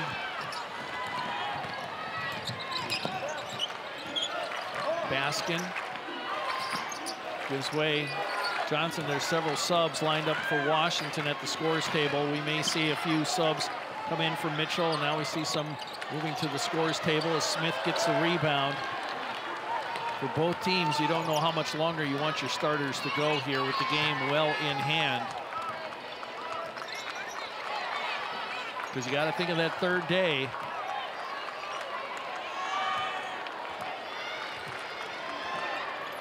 Solik. Well, Mitchell appears to be in no hurry whatsoever. Solik gets it back. And here comes some more reserves to the scorers table. Shot, block, foul. That'll be on Baskin, his second. And you're going to see both teams go with the lineup change here, and I think when they do make the change, you're going to hear pretty loud applause. Some of these seniors on the bench, some of these role player guys who've put in a lot of minutes for both teams over the years. They're going to be getting opportunities to come out and showcase their skills here down the stretch. Free throw good, 22 points for Sukup. Here comes Rico Chal, number 20 into the game, along with number two, Hayden Schilling. Hayden Brooks, number 30 into the game. Easton Miller, 12 into the game. Those are the subs for Washington. And for Mitchell, the loudest applause right now for number 34, Abraham Gunnery, the 6'8 senior center who just checked in for the first time here today. When he walked up to the table, fans kind of stood up, applauding. Maybe they've got a chance to get him in for the first time in this one. Yep. Abraham Gunnery has the, the goggles on, number 34 for the Colonels. And the Colonels will send more subs to the scorers table. They'll check in at the next stoppage of play. So we're under two minutes to go in this one. Rico Chal with it down underneath. The shot is blocked. Here come the Colonels and Sutton Thompson. And they want to have a call a timeout by Mitchell. 30-second timeout just to make the subs. Fans cheer their starters, they'll get Nicholas Moeller into the game, along with Luke LeBrun. He's number 44. Moeller is 50. 35 is Jackson Hartman. Sutton Thompson stays on the floor, number 24.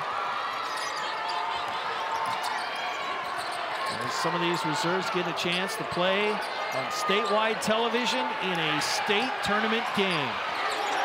Of course, anytime they're open, you're going to hear the fans on either side go, shoot, shoot. Their teammates, the starters, begging these guys to shoot right now. They're running the offense just like the starters would. Great passing. Time to throw one uphill. And Rico Chal gets the rebound. The tall man, number 20 for the Warriors. Minute to go. Now you hear the Washington fans anytime they'll go, shoot, shoot. Chal has to throw it outside. Oh, bumped off a Mitchell player. And we're going to have a foul, and that's going to be on Gunnery as making his way to the bucket was Aiden Brooks, number 30. Still, both teams still got a couple fouls to give, so no free throws yet. More players in for Mitchell. Kendall Skin or Kendon Skinner, number 23. Also number 21, Lincoln Bottom checking in. Tyler Christensen, number 20, in for the Colonels.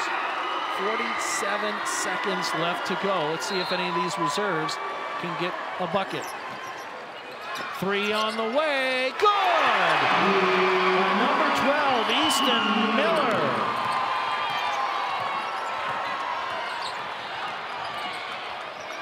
Mitchell on the attack. There's a turnaround. Good! And Mitchell fans. Big smile on that young man's face. Congratulations, Abraham. You got a bucket in the state tournament. And there's a three that's open good by Aiden Brooks. Nicely done, young man. And now they'll just let the clock wind down. Final score, convincing win for Mitchell, 72-51, The Colonels are back in the championship game for the second year in a row. Last year they fell to Yankton. Yankton not in the tournament this year. Mitchell ended their season in the Sodak 16 round. They'll have to wait for the conclusion of tonight's action to find out who they will be playing in a state tournament game. Quick examination of the numbers as the teams go through the handshake line. Mitchell, 53% from the floor, red hot, and 9 of 19, 47% from beyond the arc. Washington, 36% from the floor, 38% from beyond the three-point arc. Turnovers relatively even, rebounds plus 14 for the Mitchell Colonels. Free throws, uh, eight, 11 of 18 for Washington, 7 of 9 for the Mitchell Kernels. As far as their free throws go, points in the paint, 34-10 advantage Mitchell. Let's send it over to J.J. Hardigan. Thanks, Steve. We're here with the winning head coach, and what a night for the Mitchell Kernels. The fans showed up. They were loud from the get-go. Your boys showed up. They did. I, we really brought it on both ends, I thought, and you know that's that's you know you got some guys like Mark Sukup and Colton, but then when those other guys are contributing like they did tonight, we can get tough to guard. And you know, it was we were very nervous before this game. We showed up and played well. You brought a senior off the bench there in the last waning moments. He gets a big shot, and the crowd go nuts. Talk us, talk us through that one. Big Abe Canary, uh, one of the best teammates you can have. Uh, the crowd loves him. Mitchell loves him. I'm so happy for that kid to get a bucket on a Friday night state tournament. You guys have a chance to win a state championship tomorrow night. How exciting is that for you, for this program, for the Mitchell Kernels? It's everything to us. You know, having another shot at this uh, will be big, and uh, we're excited for it. Coach, congratulations. Thank you. Big win tonight for the Mitchell Kernels. They're on to the title game tomorrow night. Now they get to find out who they play next. Steve, back to you. Thanks, JJ. We'll come back and have highlights and stats from this one back in a moment, right here on SDPB3. As much as you have accomplished, there are times you'd rather not go it alone. While you determine what direction you go, we're here to help along the way. So go. Go with community. Go with neighbors. Go with understanding. Go with support. The most gratifying thing about what I do day in and day out is, is I get to watch things grow. When you look at corn and the huge role it plays in feed for our for our cattle and our you know our livestock, our pigs is so huge. Also our ethanol plants. I sit on South Dakota Corn Growers Association. We're focused on policy, so we work with state representatives as well as our state senators and our, our representative in Washington.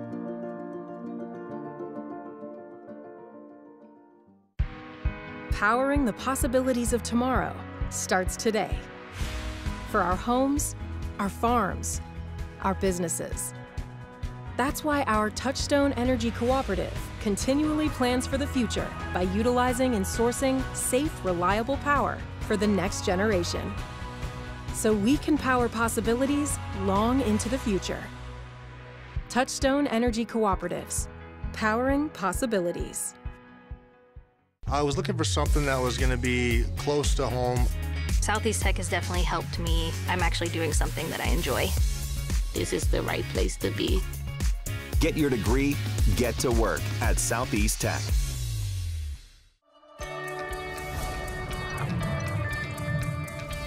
The way humans make sense of the world is through stories. We've got to go ahead and start training to go to Mars. And liftoff. We pay tribute to all who serve and who have served. Civilization is precious. Life is precious. Artists here are making a difference. I'm trying to seek redemption.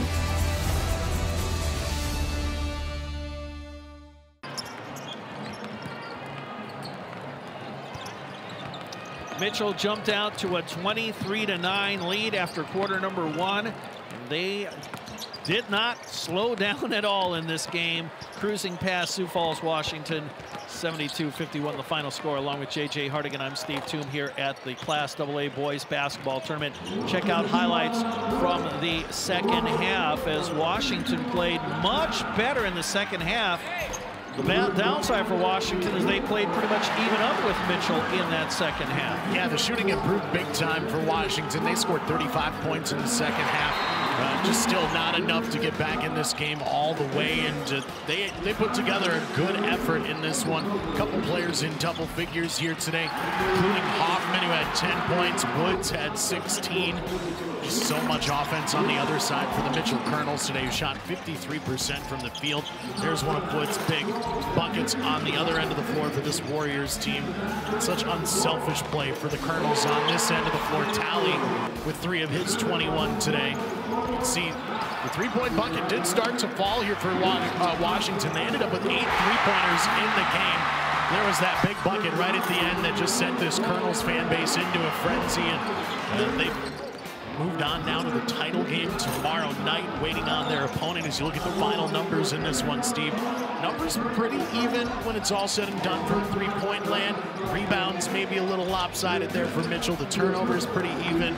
Washington actually got to the free throw line twice as much as Mitchell did tonight, but just not enough in the 72-51 final. Rebounding, Smith had 10 rebounds to lead the way. The top rebounder, five, was Jace Woods. He did have uh, nice uh, dunk there. But uh, I tell you what, the inside play of Mitchell, impressive tonight as they had some players in foul trouble, but they were able to adjust accordingly, and they prevail by a score of 72-51 points in the paint, 34-10 advantage Mitchell. Their inside game was stellar. So they're in the championship game. Who will they play? Well, we got to find that out. Another semifinal game coming up in a moment. We'll start previewing after we get back from this timeout. You're watching SDPB 3. Our teams are committed to improving quality of life in our communities. Whether we're planning construction concepts, building a new downtown development, bringing new businesses to our communities, or maintaining your apartment home. We believe everyone deserves a well built and well managed place to live and work. This is Lloyd. The word cooperative means working together for a common purpose.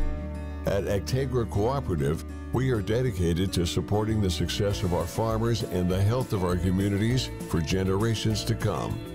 Rooted in our communities, Agtegra strives to instill dedication, determination, and integrity in everything we do, and that includes inspiring the next generation of agricultural leaders. Jackrabbits don't wait to see what the future holds. They build it. At South Dakota State University, the next generation's leaders are preparing to launch. They're focusing on growth and they're reaching new heights of excellence across vital industries.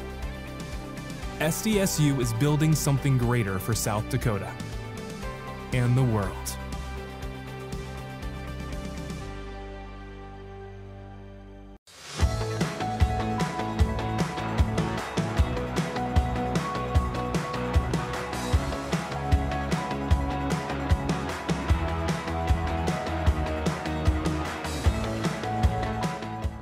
Sometimes having 15 of something is great, like 15 pizzas. Nice. But for days of class missed, 15 or more is not so great. The best way for students to own their tomorrow is being present today. See why good habits matter at showupsd.com.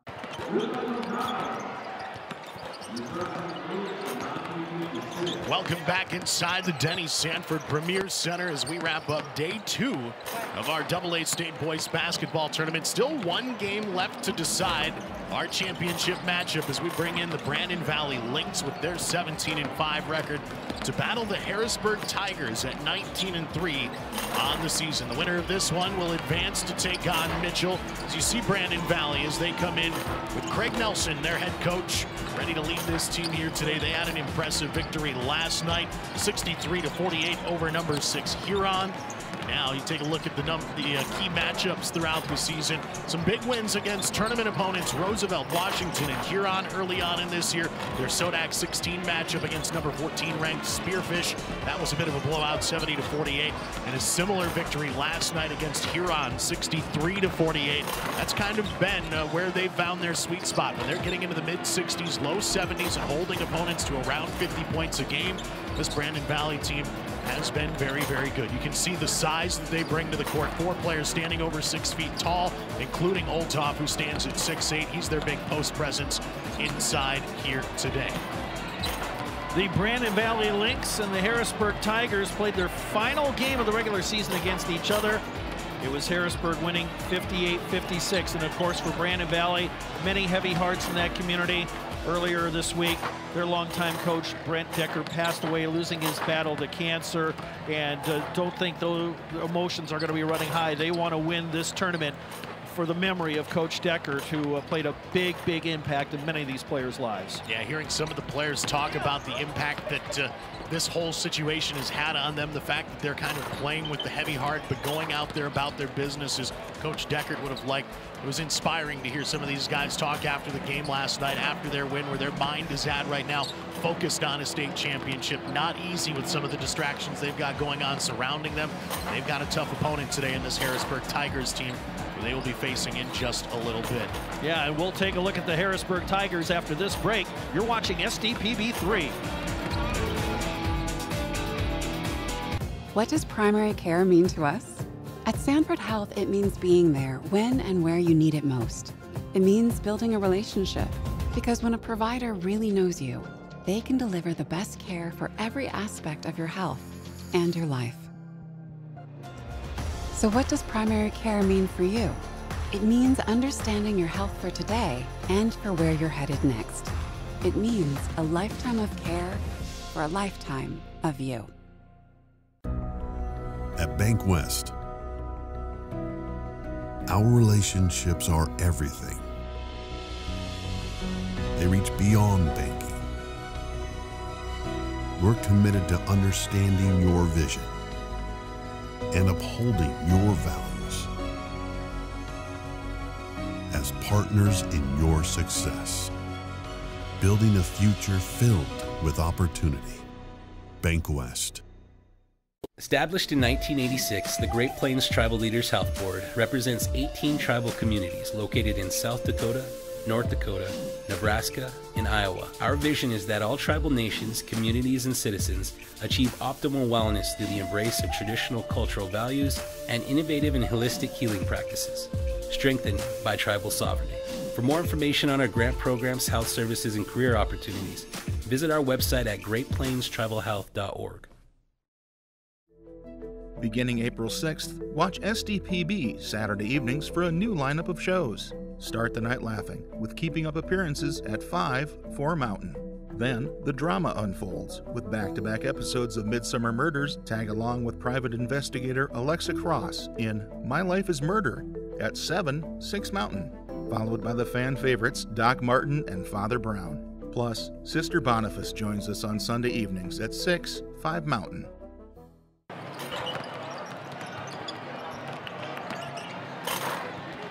Back inside the Denny Sanford Premier Center, our pregame coverage of this semifinal matchup continues on here on SDPB 3. We've taken a look at Brandon Valley already. Now it's time to take a look at the Harrisburg Tigers. Scott Langerock and his team come in with the uh, impressive record during the regular season, Steve, the win yesterday got them to 19 victories on the season. They're in the midst of quite the winning streak themselves heading into today's action.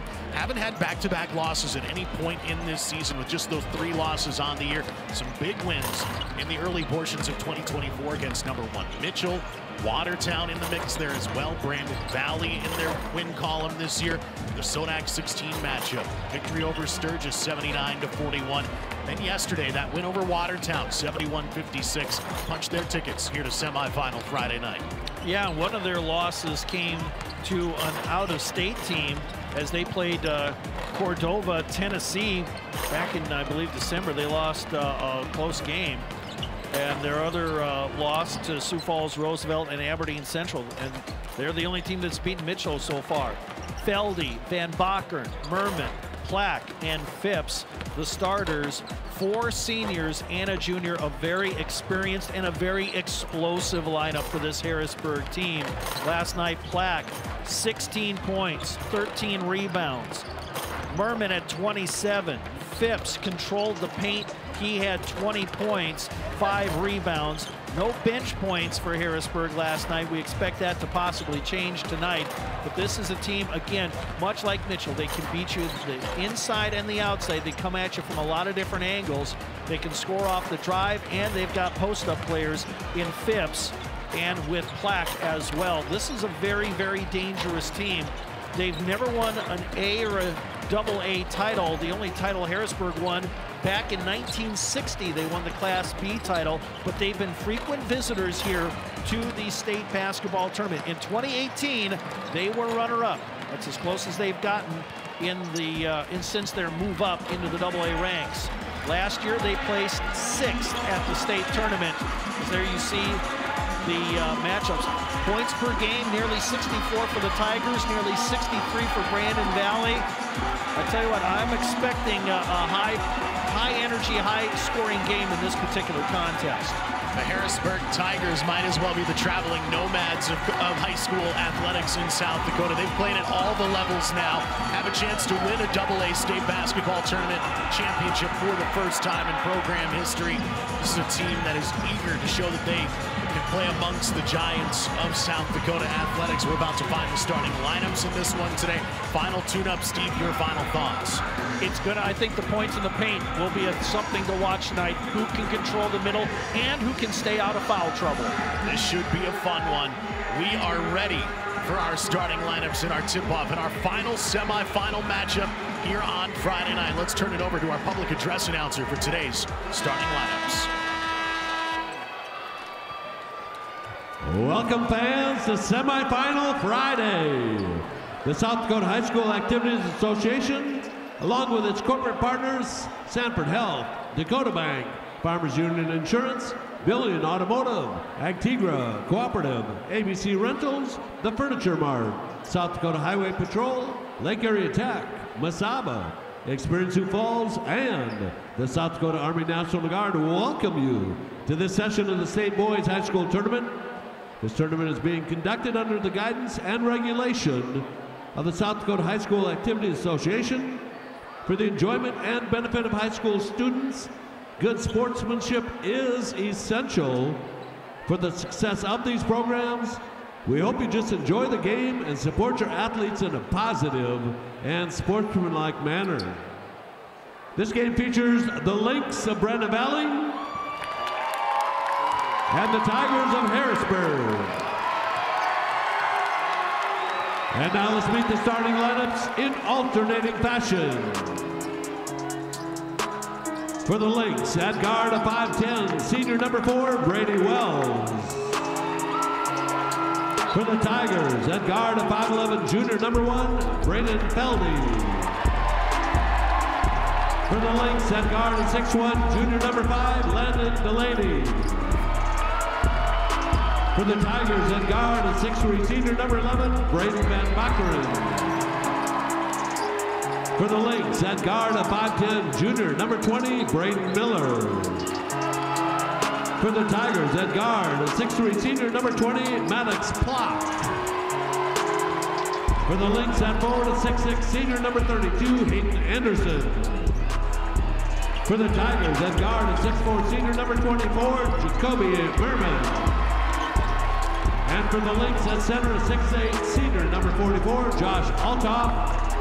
And for the Tigers, at forward, a 6'6 senior, number 33, Camden Phipps. The Lynx are led by Craig Nelson. Assistant coaches, Jeff Ganschow, John Scout, Darian Smith, and Tim Salinas. The Tigers are led by Scott Langerock. Assistant coaches, Andy Kleinjohn, Tara Fujimoto, Darren Dolly, Greg Hammerquist, and Dan Newell. Your officials for this game, Andy Diner, D'Amico Rodriguez, and Jeff Schroeder.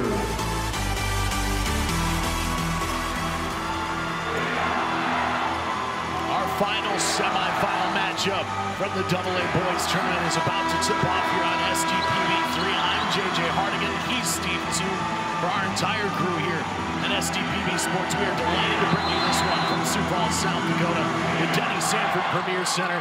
It's the Brandon Valley Lynx securing the opening tip. They'll wear their road blacks today with the red letters, numbers, and white trim.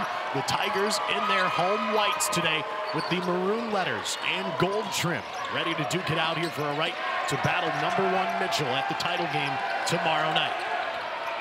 That one off the front side of the iron is no good. Offensive rebound. The putback in right away. The Lynx going to work. With a little dirty work on the offensive glass and a chance at a three-point play. Hayden Anderson with the nice rebound and the putback. The foul will be on Maddox Plack. Let's take a look at there on the replay. It's a good start to get that offensive rebound for Brandon Valley. There's a fight for the basketball. Jump ball, possession arrow, Tigers. Tigers did open up man-to-man -man defensively. We'll see how the Lynx deploy. Yesterday, they were led by Landon Delaney, 18 points. He's more, more a facilitator, but last night, he had the hot hand. Really looking forward to watching the inside game today as we get a foul called on the other end of the floor now. That'll be on Braden Miller, his first. Two post players in this game, though, today, Steve. First for Harrisburg, talking about Camden Phipps, 9 of 16 yesterday, 20 points in the victory. He was one of three players in double figures, one of two players for Harrisburg's uh, offense to reach 20 points. On the other side, Josh Olthoff, what he did yesterday, two of six from the field, maybe struggled a little bit, though, did finish with eight points, eight rebounds, five assists. He's one of the best passing postmen in the conference. They are matched up on the left side of the paint. That is going to be a great one to watch today. That right there, your marquee matchup at the top of your key. Olthoff, a great passer, finds the open man. Right on cue, he answers the call, finding his teammate the bucket there. A big one and a three-pointer for Braden Miller. And Olthoff pulling the big man outside frees things up for other Lynx players in the paint. Just about 90 seconds gone by and a foul away from the basketball this time. Olthoff, I think, got called for holding there. They're trying to get inside to get to Phipps. He was trying to break free, but just too much contact underneath the hoop. And yeah, that's a good call by the officials. Our crew, Andy Diner, D Domingo Rodriguez, Jeff Schroeder, your three-man crew. Jeff Hafler, the alternate. Merman had the big game yesterday with 27. Phipps inside, the turnaround hangs on the rim and falls. He's had some big games at the state tournament throughout his high school career. Back here in Sioux Falls, inside the Denny Sanford Premier Center, and he has shown up over the first two days. Turnover in transition now. Here come the Tigers. This one high off the glass, too strong.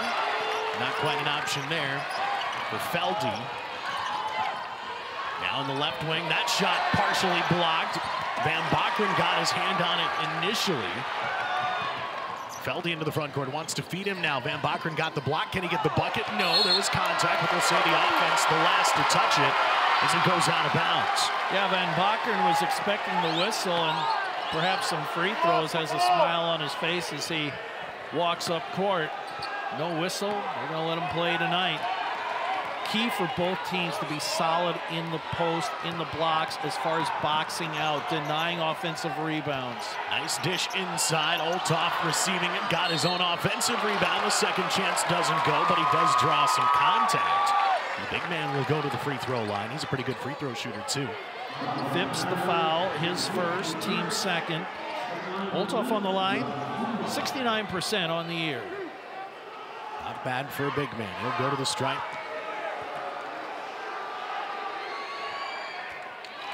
First one is good. Olthoff plans on teaching and coaching.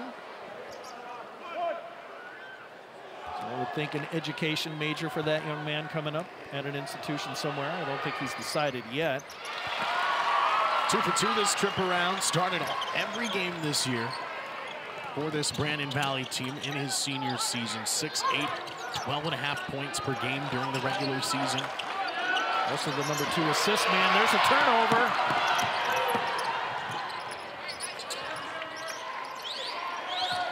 Five and a half minutes left to go in this opening quarter. Seven to four year score. Brandon Valley out with the early advantage. Still a long ways to go in this one. Oh, nice play there by Anderson. Taking it right at the defender. Brandon Valley has come out shooting well here so far. Three of six from the field now at 50%. Harrisburg has only gotten two shots away so far. That's just their third. Now one of three from the field here so far today. Looks like Olthoff had to adjust his cochlear implant there. Of course, we have a feature on him, sdpb.org. His coach, Craig Nelson, has said that you don't really notice it. It's one of those things that maybe pops up once in a while if he takes a big hit, has it pop out. For the most part, he does a really good job of not letting it bother him.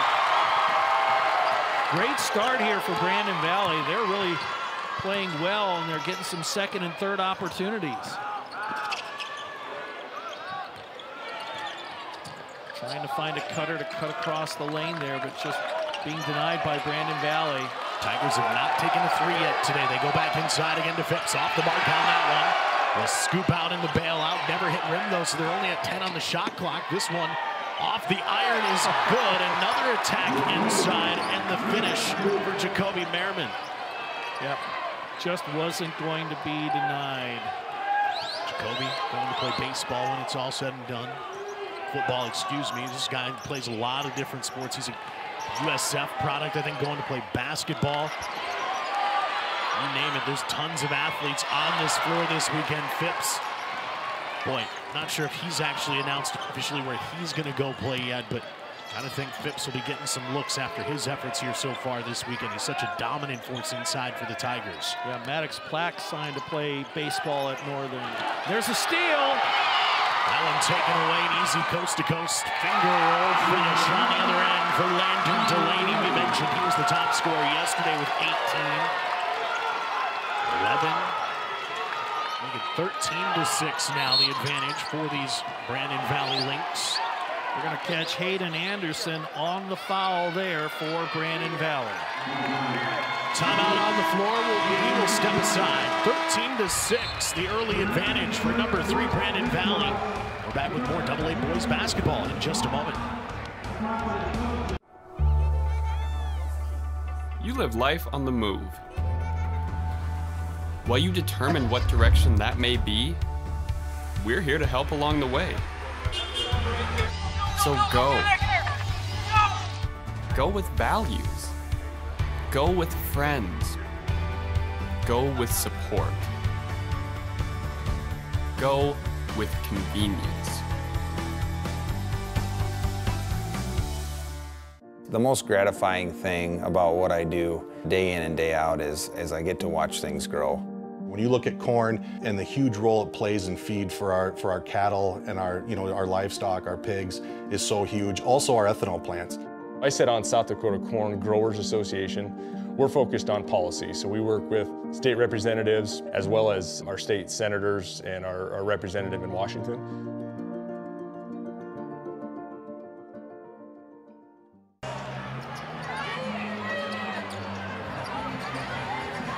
We are back here in Sioux Falls. Looks like both teams like-minded today. Their student sections pulling the white out on both ends of the floor here on this Friday night. Expect to see a lot of green tomorrow, but right now, white trying to find a way to get a win. Brandon Valley out in front early. That shot denied. Good recovery defense from the Tigers who are trying to get back into this basketball game. Brandon Valley going to the bench, bringing in Rylan Carroll, number 22. Under three minutes to go in this opening quarter. Both teams at 40% or better shooting so far today. Another finish inside. Nice look there. That's Aiden Costain. Yeah, Costain is 6'7 junior. He's a forward. Provides a lot of size down low for this team along with Phipps. He's actually an inch taller than Phipps is out there, according to the stat line. Yeah, Phipps getting a break at the moment. It's a great player to be able to sub out when Phipps needs that breather to keep that size out there. He deflects the pass there. Now Van Bockern into the front court. He's going to try the NBA range three on that one. was way downtown. Yeah, he had such a nice release on that one. His first shot, his first make of the day. It's a two-point game. Three from the left corner now. No. Offensive rebound, Brandon Valley. That was Aiden Zur who got the ball there. Gets it back. Olthoff fighting through a double team. The extra pass into the corner. Lynx unselfish passing right now. Finding the open shooter again at the front side of the iron. That's no good. The Tigers come away with a great ball movement all the way around for Brandon Valley. They just didn't get the finish. Van Bockern, little heat check. That one off the backside of the iron. That's no good. Yeah, last night, well, uh, Carroll got three three-pointers. We got a foul there that's going to be on, I believe that's Briggs Knutson, who just checked into the game. But Carroll was a big difference maker last night, coming off the bench for the Lynx with those three big three-pointers. Tigers talking this out, trying to figure out who's going to inbound this one. Looks like they're getting some bodies subbed in, subbed out. Going to the sideline, Alex Smith, his first breather of the day. Yep, they get Plack back into the game, do the Tigers. Minute 32 left to go in this opening quarter of action. Van Bockern gets the inbound, wasting no time. Releases off the front side of the iron. That's no good. Rebounded by Brandon Valley. Delaney with the board. Now he'll push it into the front court. There's Olthoff the turnaround. This bounce, bounce pass is a point guard's best friend, Steve. Sometimes they go straight with that chest pass, try the overhead lob. That gets disrupted, intercepted. That bounce pass will get to you every time. And nice job by Olthoff to finish with the left hand. Nice little drop step. Tigers needing some offense here with a minute to go. Could have easily been a double dribble there. I think the Tigers got away with one. Jump stop from the free throw line. That hangs on the rim. No offensive rebound. The turnaround. That one's good. Maddox Plack, the senior, 6'3", the forward, just checked back in a moment ago in the scoring column. Yep, nice job using the window there. Down to the final 35 seconds. Ooh, slippage over there on that end of the floor. We saw that a number of times yesterday for Brandon Valley. And the coast-to-coast -coast finish for Feldy. Yeah, down at the uh, that end of the court, we've seen a lot of players slip over the first couple of days. Let's see what Brandon Valley does here. Knutson will run the offense here for the final opportunity. Shot clock has been turned off, down to 10 seconds remaining. Lynx on the attack. Delaney lost his footing again, trying to keep it alive. Now into the corner. Shot clock expiring. That one off the buzzer is good for Aiden Zaire. Capping off the first quarter for Brandon a three-point lead into the second quarter. 18-15 is your score. Zaire, a dagger from the left side.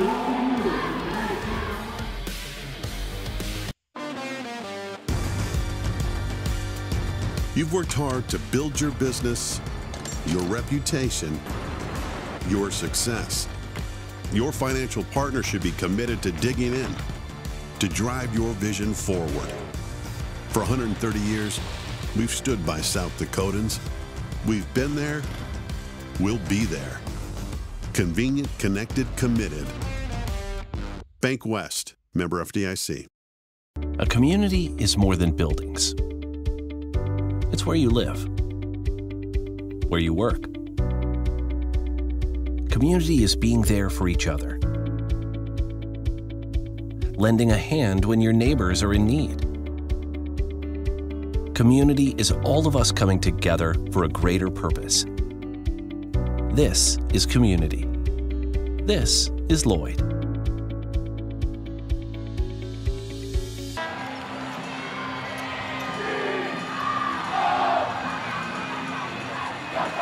Eighteen fifteen. TGHT. The game honors toughness. Words from the Brandon Valley head coach, longtime head coach of this program, Coach Deckert. Unfortunately lost his battle with stage four cancer just before this tournament started. Brandon Valley playing in his honor. All the coaches at this tournament yesterday wore a t-shirt with that message displayed across their chests. Sign of solidarity as that one off the glass is in. This just seems like a team in Brandon Valley right now, Steve, that has a little extra motivation behind them heading into this weekend. Yeah, they do, and uh, right now they are executing well on offense. You saw another good interior pass there for Brandon Valley, and Zur got another bucket. Second quarter play, we'll get you updated on the numbers in a moment as this one drips on home. Harrisburg starting to hit from deep. Maddox Plack staying involved in the offense. He's up to five points on the day. Yeah, he had a big game yesterday with 16 points and 13 rebounds, and his three-pointers early on opened things up for Merman and for Phipps. Harrisburg now 50% in all the major offensive categories today, or better, 54% from the field. Ooh, a nice little extra step there. The Harrisburg coaching staff wanted to travel, didn't get it. That's a big bucket for Brandon Valley to make this a two-possession game. Yeah, it's Zur, and he's got nine points. Extra dish. Phipps hangs on the left side of the rim. That one might have been partially blocked. Brandon Valley can build on this lead now. Olthoff sized it up for a moment, but didn't pull the trigger.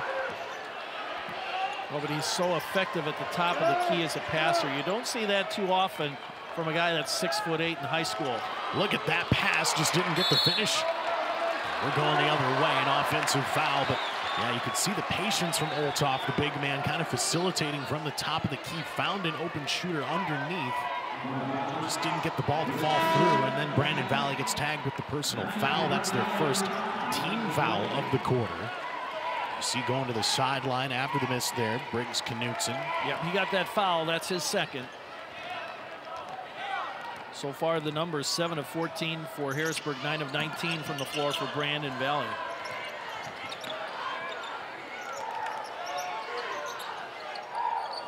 Harrisburg going back to Phipps, left side of the paint, double team, splits through that, now picks up his pivot from, gets called for the travel.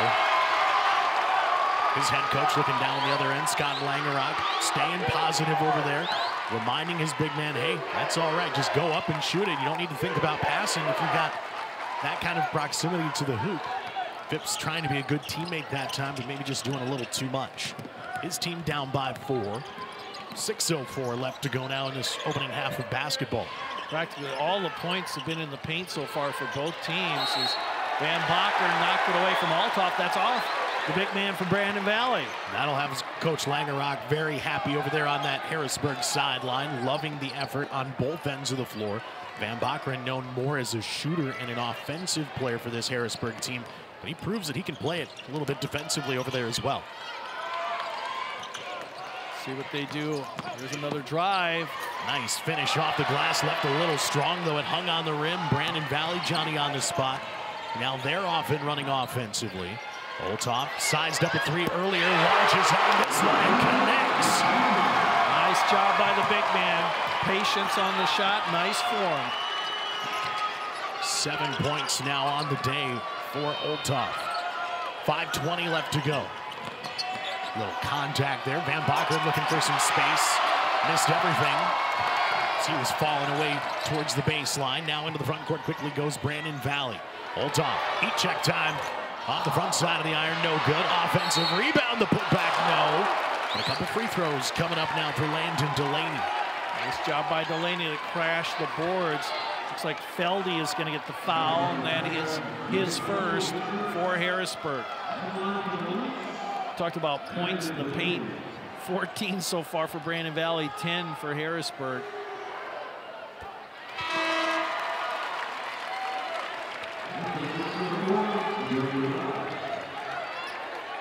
Olthoff's going to get a rare breather on the sideline.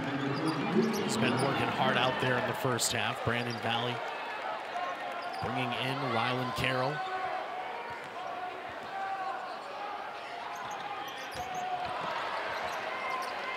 Miss on that one. Maddox Plack the rebound, and here comes Harrisburg.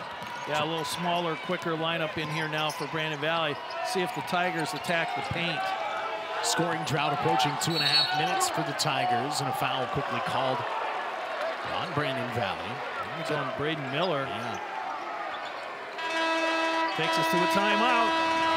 4.50 left to go in this first half. Eight-point game in Sioux Falls. Back with more AA boys basketball in just a moment. Jackrabbits don't wait to see what the future holds. They build it. At South Dakota State University, the next generation's leaders are preparing to launch. They're focusing on growth, and they're reaching new heights of excellence across vital industries. SDSU is building something greater for South Dakota. and the world.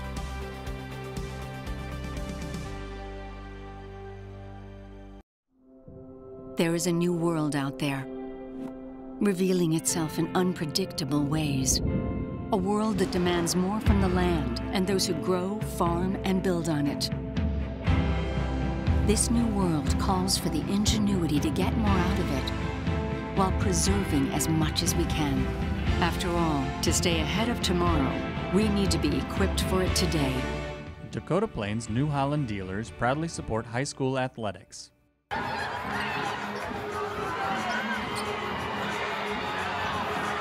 Tell you what, those uh, pullovers, they've tested time. Those have been around the Brandon Valley community for a long time. They brought them back out for some state tournament basketball this weekend. They've got their fans decked out in white all over the gym here today. Brandon Valley fans have come in energized, excited. Harrisburg fans equally excited for this one. There's Abby Phipps, former Harrisburg High School player, now at Augustana College here in town. Her family in attendance today watching these Harrisburg Tigers battle it out. Of course, the other Phipps out there right now. Playing for these Tigers. Nice hustle there by Carroll. Traveling the call. That was Hayden Anderson in the paint. Thought he got bumped, and that's what caused him to move the foot. Tell you what, a lot of big, tall bodies in the paint there. But that's where the, both teams, they've been attacking the paint in this first half so far. Brandon Valley 48% from the field. Harrisburg 41% from the field today. It's Tiger basketball down by eight. 420, actually less than that now. Four minutes left to go here in this first half. And Van Bockern going to get called, I believe, for the offensive foul. Skidding between a couple defenders there. Plowed over one of them on his way towards the hoop. To go the other way. That's his first personal foul. Nice job by the Lynx. There were a lot of black jerseys in his way there. And one of them held their ground. You can see Rylan Carroll there kind of licking his chops. I think he kind of took the worst of it. Might have bit his lip a little bit on his way back up, but continues to battle out there. Olthoff, no. Missed on the backside. Checking in on the bigs. He's got seven points today. Phipps just two on one of three shooting. And this one tipped out of bounds. It'll stay here with 28 on the shot clock. Yep. Points in the paint favoring Brandon Valley. Rebounding plus four to Brandon Valley. So far, I think they're winning the battle inside. Approaching a four-minute scoreless drought now for these Harrisburg Tigers. They missed on their last four shots. Not there, though. That's a big one. Gets them back into a two-possession game with 3.28 left to go. For Merman, that's uh, only his fourth point. He's been held relatively in check so far. But we know he can explode for points in a hurry. That one off the right side of the iron. Offensive rebound, and now foul is going to be on Van Bockern as both he and Carroll got tangled up. Kind of had their feet get interlocked that time, but it's going to be Van Bockern who picks up the personal foul. 13 foul. Neither team in any real concern right now. Just three team fouls at the moment for Harrisburg. Just the two for Brandon Valley, although Van Bockern will go to the sideline. He just got out hustled for that rebound as Carroll snuck in there and took it away from him.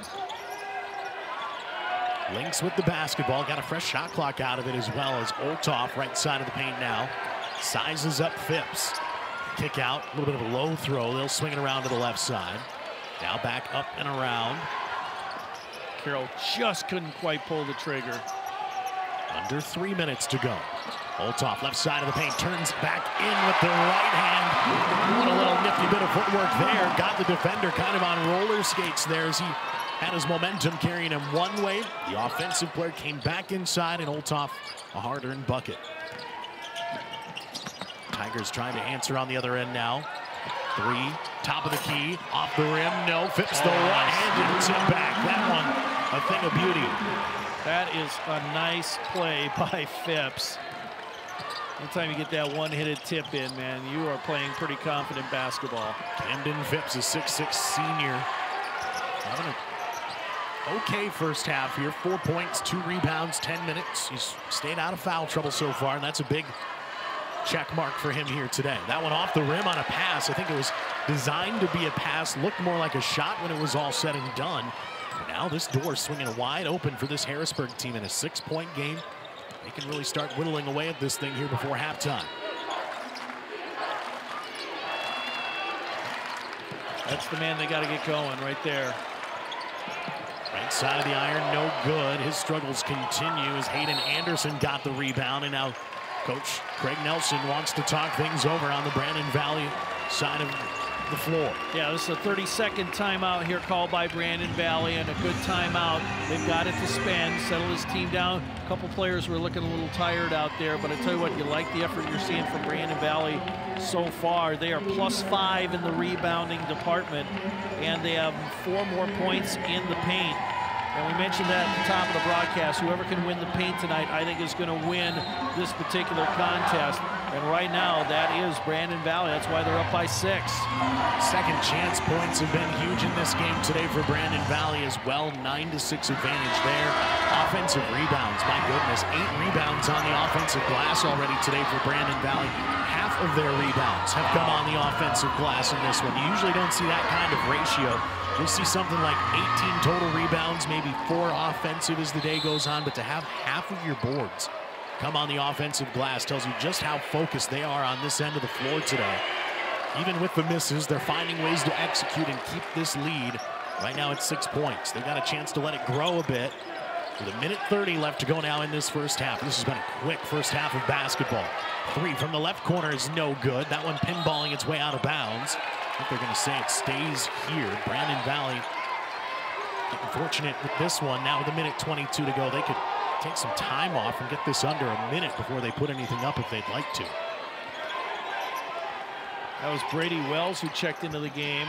And they go right to the basket. Yeah, they don't like to. They want to play quick. They want to find a way to get as many points on the board as fast as they can. It's an eight-point lead now with a minute 14 to go here in the second quarter. Brandon Valley up by eight. Back locked in defensively. Kick out, three, left corner. No, it would have been a long two had it gone. His foot was on the line. Now they'll try again, this time inside the dish. Phipps hanging tough, held on to the basketball and got two more points out of it. He's up to six. That was a nice pass by Merman to set him up. Merman hasn't been shooting well, but he's been finding his teammates as Olthoff misses off the front side of the iron. Rebound again for the Tigers. Harrisburg going back to work with about a seven and a half second difference between shot clock and game clock. They will try to milk this one down. Six point game, a chance to cut this perhaps to a one possession contest if they can hit on a three.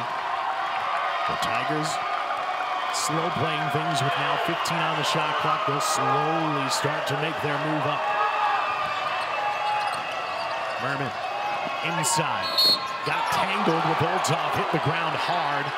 Merman slow to get back up. His teammates were checking on him for a moment. You can see kind of hit the chin, the jawline area there on the hardwood as he came back down. Take the long walk to the free throw line before towing it for a pair here. It's just the fourth actually third team foul on Brandon Valley, each team with three. Coach Craig Nelson talking to the officials over there as both teams take a moment. They're going to take a look at Jacoby Merriman. Make sure he's all right. He tosses Kleenex, whatever they had over there. He's ready to go.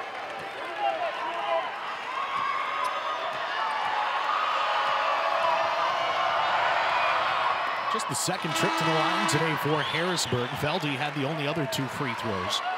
As a team, though, these Tigers a perfect three for three today. As you see Merman getting back to the line.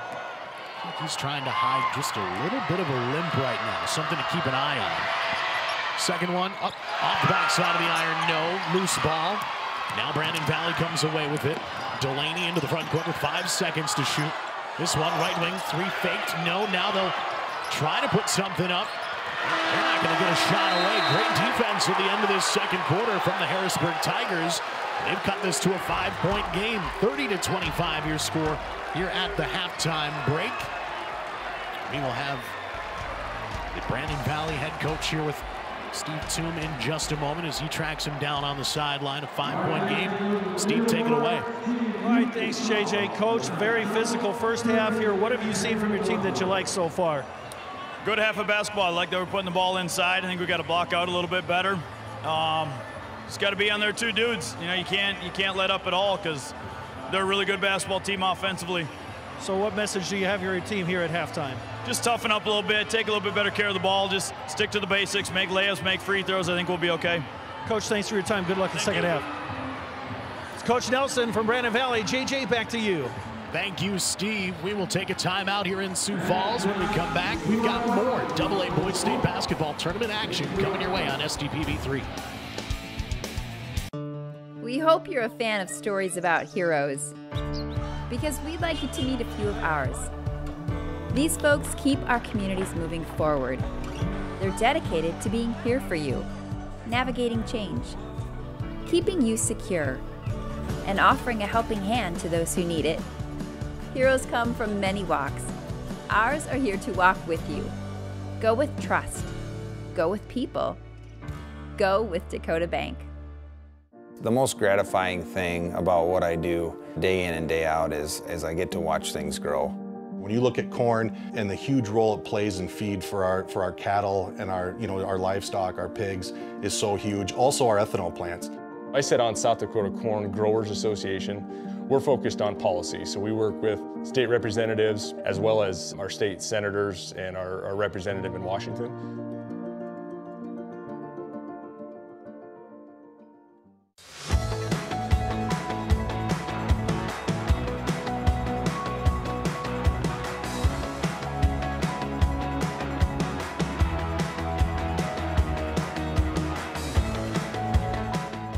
Sometimes having 15 of something is great. Like 15 pizzas. Nice. But for days of class missed, 15 or more is not so great. The best way for students to own their tomorrow is being present today. See why good habits matter at showupsd.com. We're all going somewhere. Going higher, faster, farther. Going in new directions, to new places. At Monument Health, we keep going so you can keep going. We're dedicated to advanced orthopedic care with the latest innovations, technology, expertise, and treatment. So keep exploring, keep making memories, keep going with Monument Health as your partner. Learn more at monument.health slash orthopedics. First Dakota is here for the shared community experiences, the competition, long-standing rivalries, the players and coaches, seeing friends again, and cheering on our favorite teams. It's what makes life great here, and First Dakota is here for it.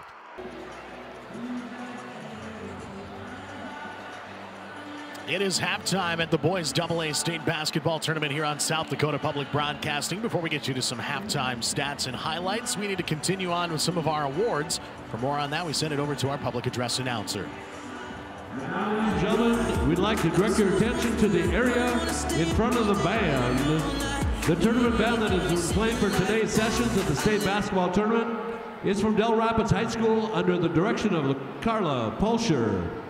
In appreciation for the fine music the band has provided during the games, Dan Swartos of the South Dakota High School Activities Association is now presenting to Carla Pulscher, director of the Dell Rapids Pep Band, a plaque to commemorate the day. Ladies and gentlemen, the Dell Rapids Pep Band.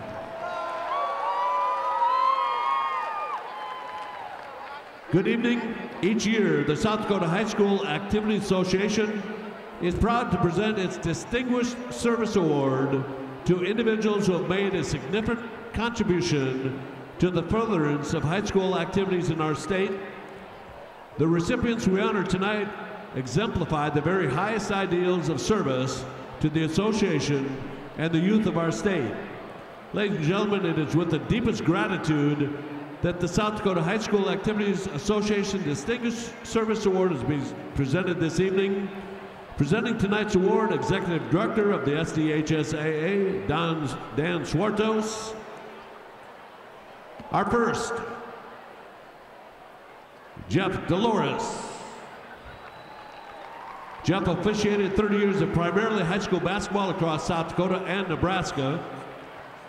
He was honored to have officiated region championship games in boys basketball every year from 1995 until he retired, including multiple region championships. He also worked on many girls' region championship games. He worked numerous boys and girls district playoff games in all classes and was selected to 23 state tournaments, worked the championship game six times. Jeff was the recipient of the 2012 NFHS Boys Basketball Official of the Year and was a 25 year volunteer at the Howard Wood Relays and numerous state track meets. Jeff and his wife, Kathy, live in Sioux Falls and are the proud parents of daughters Jasper and Danica. He also has two granddaughters. Ladies and gentlemen, Jeff Dolores.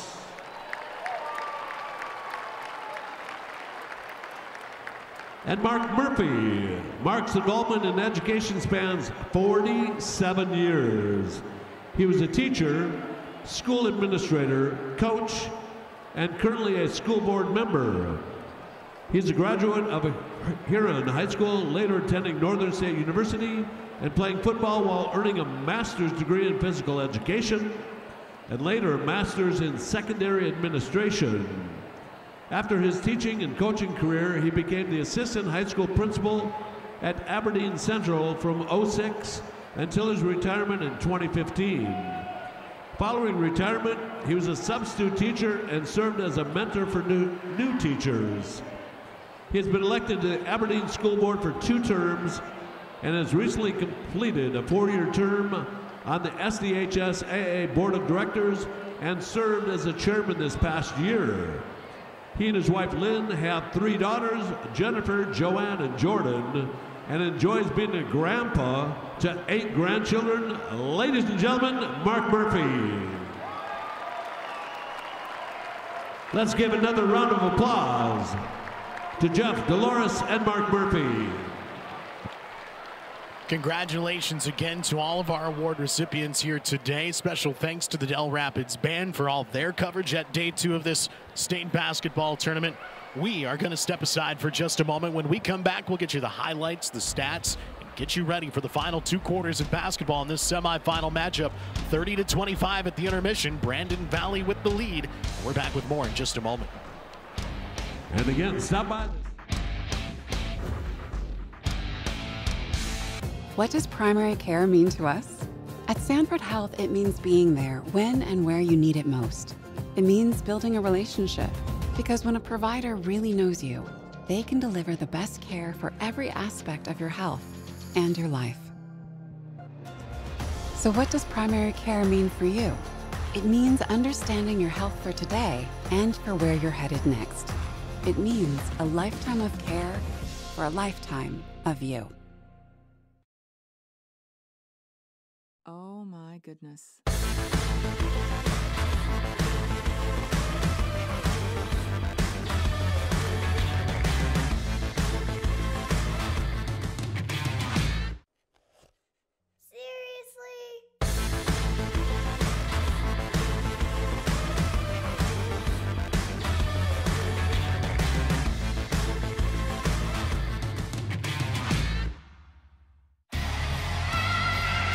We're trying to promote the Descendants of Doom tour. You know, trying to make everybody look kind of metal and, you know. Menacing, menacing. Uh, the band just got covered by Delta Dental, so they kind of can't stop smiling. They need to look more metal, and they don't look metal. What do we do? Pop off a few more, see what we get. Give me some metal. All right, yeah. Three, two, one. Delta Dental! The word cooperative means working together for a common purpose. At Agtegra Cooperative, we are dedicated to supporting the success of our farmers and the health of our communities for generations to come. Rooted in our communities, Agtegra strives to instill dedication, determination, and integrity in everything we do, and that includes inspiring the next generation of agricultural leaders.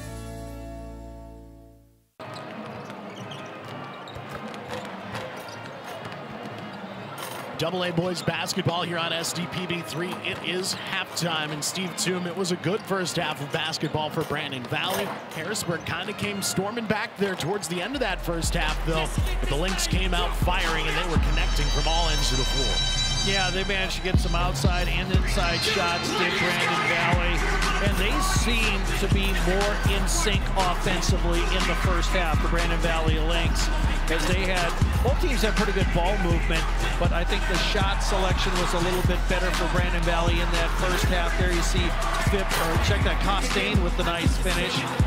But Brandon Valley really attacking the paint well, and they really contain Merman. He did not have a big first half, and he's the man that really sets the pace for the uh, Harrisburg Tigers. There's a tough shot there by Merman. He was held to just, I believe, five points in that first half after scoring 27 last night. There you see the team stats. Brandon Valley and oh, the percentage-wise are practically even. Three-pointers, pretty much even up. Free throws, pretty much even up, but plus five in the rebounding department for Brandon Valley. Plus four points for Brandon Valley in the paint, 18 to 14. Second chance points, plus three to Brandon Valley there. Uh, Harrisburg wants to run. They want to get out on the fast break, but Brandon Valley has really denied them so far in this first half of basketball. And Brandon Valley has pushed the pace when the opportunities have presented themselves. Yeah, and the opportunities have been there at times. This Brandon Valley team has been led today by Aiden Zaire, five of seven from the field one of two from three-point land. He's got 11 points in halftime, the game's top scorer right now. There are two players for Brandon Valley with nine or more points today. Olthoff with his nine, Zaire with 11. They've combined for 20 of their team's 30 points here today. For Harrisburg, nobody at this moment has more than six points. Camden Phipps, he's the guy right now, three of five from the field. They're to need to keep the big man working hard offensively. He only played 12 minutes in that first half. They'll probably utilize him a little bit more with his playing time here in this second half. He's done a much better job today of staying out of foul trouble. You can see the fans in this building. Been on the edge of their seats for most of this contest as we get back to action. Eight minutes on the big board, third quarter action, second half of play from our semifinals here at the Double A State Basketball Tournament. Harrisburg Tigers with their first look at it. That shot got blocked right out of the gates, though. Brandon Valley picking up right where they left off. One high off the glass, no. Olthoff to put back, no. Bodies flying everywhere on that play. Boy, a couple of good opportunities for the Lynx go by the boards there after that good defensive stand on the first possession by the Tigers. There's Phipps at the top of the key again. He's the team's top scorer today as that gets tipped out of bounds. They'll say last touch by Harrisburg. Brandon Valley basketball. Harrisburg just looks a little out of sorts here. They're not quite in sync on offense as compared to what they played last night. And they were pushed last night, Harrisburg, by Watertown. Was final was 15, but Watertown stayed with them a good chunk of that game. Brandon Valley working inside as Phipps picks up the foul. We were praising him just a moment ago for staying out of foul trouble in the first half in 13 minutes. Now he's picked up his second. One of two players for Harrisburg right now with two personal fouls. Nobody has more than two like the way Olthoff has been working in this game in all aspects of the game. Off the front side of the iron there, but yeah, nine points, three rebounds, two assists today in 16 minutes. A big part of why this Brandon Valley team had a five-point lead at halftime. Yeah, that time he missed them both, but a good offensive rebound. Olthoff tipped it, kept it alive. Brandon Valley with a fresh shot clock. They'll feed the big man again. He gets fouled, and again, we'll go back to the free throw line. If this is on Phipps, that's two quick ones in the second half, and he's got three now. You can see the frustration on his face.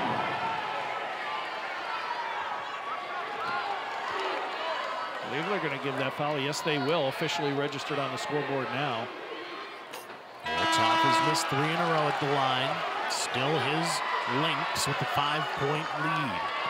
Costain will come in to replace Phipps, who quick picks up two quick fouls. Gotta love the way Brandon Valley crashing the offensive glass.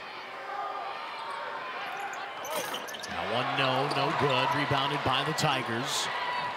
Yeah, the offensive glass has been nice today for Brandon Valley. 12 of their 22 rebounds have come off the offensive glass. It's a 12 to 5 advantage on the O boards here today. Now that's a nice finish inside. Van Bockern making it a three-point game with 6.42 left to go here in quarter number three. Three from the top of the key, in and out. Offensive rebound again for Brandon Valley. This one off the backside of the iron. Another second chance. That one's good, and now a chance at a three-point play the old-fashioned way. A foul will be on Plack as crashing the glass. Hayden Anderson, he scored his sixth point, just working hard. Carroll will give Olthoff a break, so a smaller, quicker lineup in now for Brandon Valley. But boy, they're, they're just out hustling him right now. This one at the free throw line, no, off the backside of the iron. Boy, that's five missed free throws already in this quarter for the Lynx. Yeah, they're shooting 33% from the free throw line on the day now. Not going to win basketball games if you're shooting in the 30s from the free throw line. You got to have those in the 60s and 70s, if not higher. Oh, Aaron pass. That one taken away. Tigers with another chance. This one's going to be a foul on the ground, not in the act of shooting. Merman was trying to work his way inside. Ended up with contact on the play. It's a five-point game right now. Subbing continues. Lynx will send Braden Miller to the sidelines. Yeah, he just got his third foul. Brings Knutson back into the action. Rylan Carroll out there along with Aiden Zare as they work defensively against this Brandon Valley front court. Aiden Anderson now the big post player down low with Olthoff on the sidelines. Delaney's out there as well for Brandon Valley to the Tigers. That one just missing. Offensive rebound here for Harrisburg, and now it turns into an opportunity for a pair of free throws at the line. Delaney tried to plead his case with the officials, and with a smile on his face, picks up the personal. Delaney only his first. Lynx went to a 2-3 zone on that possession, and one of the things that drives coaches crazy, if you get a zone, you got to have guys boxing out. That one, good at the free throw line.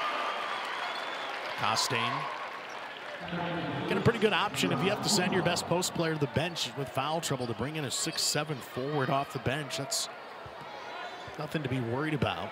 Yep, he averages 3.3 points per game, two rebounds per game, 58% at the line on the year. Second attempt.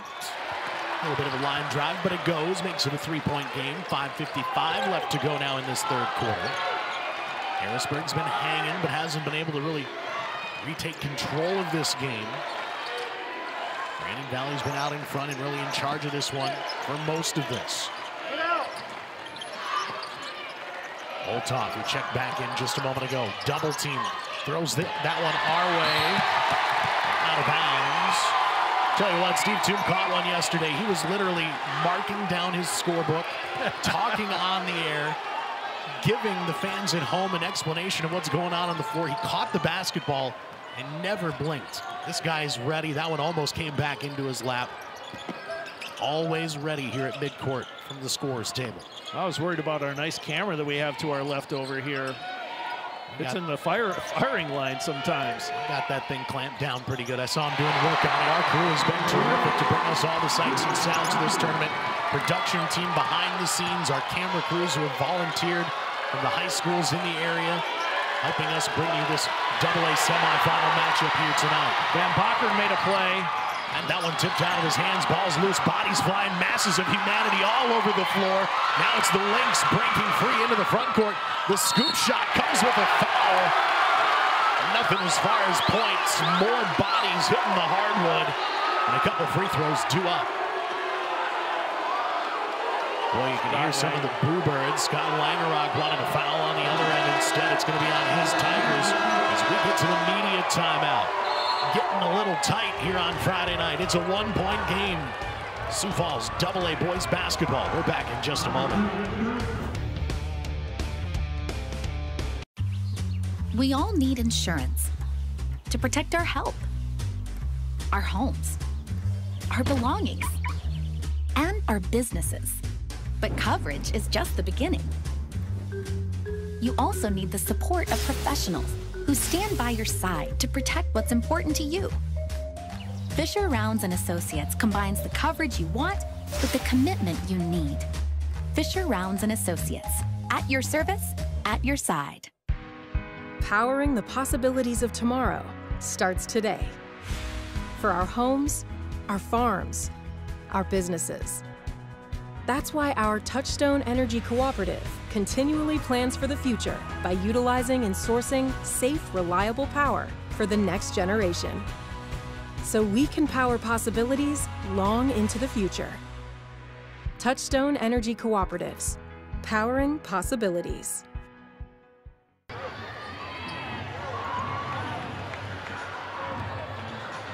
Well, it's been a whiteout tonight for both teams. Harrisburg and Brandon Valley, their student sections have been decked out in white all night long. This one been white hot as far as the action is concerned here in this second half so far. Brandon Valley has turned the ball over three times in less than two minutes. They're at the free throw line here trying to push this lead back out. It's now a 33-31 advantage with that one made. Aiden Zare, who led his team in scoring in the first half, now with 12 points. This to make it lucky number 13. It's off the front side of the iron and no good. Brandon Valley really hurting themselves at the free throw line. They've only made one of seven attempts here in the third quarter. That's opened the door for Harrisburg. Tigers trailed by five at halftime. It's a two-point game. This to tie it. It's up and in. Now a chance at a three-point play the old-fashioned way. And a chance perhaps at the lead. Feldy snuck in through the back door. Watch the interior pass. Oh, that was a thing of beauty. Olthoff got the foul, his second. Six points for Feldy today. Two of four shooting. He's two for two from the free throw line. Steps up and puts that one in. 34-33 now your score. Harrisburg the advantage. Their fans will rise to their feet for the first time. Lynx needs somebody to step up. 4.20 left to go in quarter number three. Lob pass inside. That one had a good look. Olthoff found the man he needed to get a bucket. But Braden Miller left it short on the left side of the iron. Van Bockern's really stepped up here on both sides of the court in the last few minutes. He's got it right now at the top of the key with 20 on the shot clock. Less than four minutes to play in the quarter now. Van Bockern creating a little space between he and the defender. That shot was no good. And Feldy tried to sneak around and swat that ball back free. Instead, he'll pick up the personal foul. That is the 15 foul on Harrisburg. So 3.53 left to go in the quarter. Double bonus time here for Brandon Valley. But boy, the uh, free throw line's kind of been their kryptonite here in quarter number three. Aiden Anderson at the line. He's 0 for 2 at the stripe today. Six points, 10 rebounds for number 32 in black. That one's good. He's approaching himself a double-double today. He's been stepping up big time with Olthoff. Held in check here as of late. Three of eight shooting. Delaney just one of three. Needed somebody to come in and score some points for him. Anderson's up to eight. It's a one-point Brandon Valley lead, 35-34 here, midway through our third quarter of action. Points in the paint, almost even. 2018 advantage Brandon Valley. Foul. It's going to be away from the ball. Harrisburg fans like that call. This is going to go against Aiden Zare. Picks up his first. Oh, I think they're going to get uh, Hayden Anderson. Hayden Anderson's going to collect that foul, his second.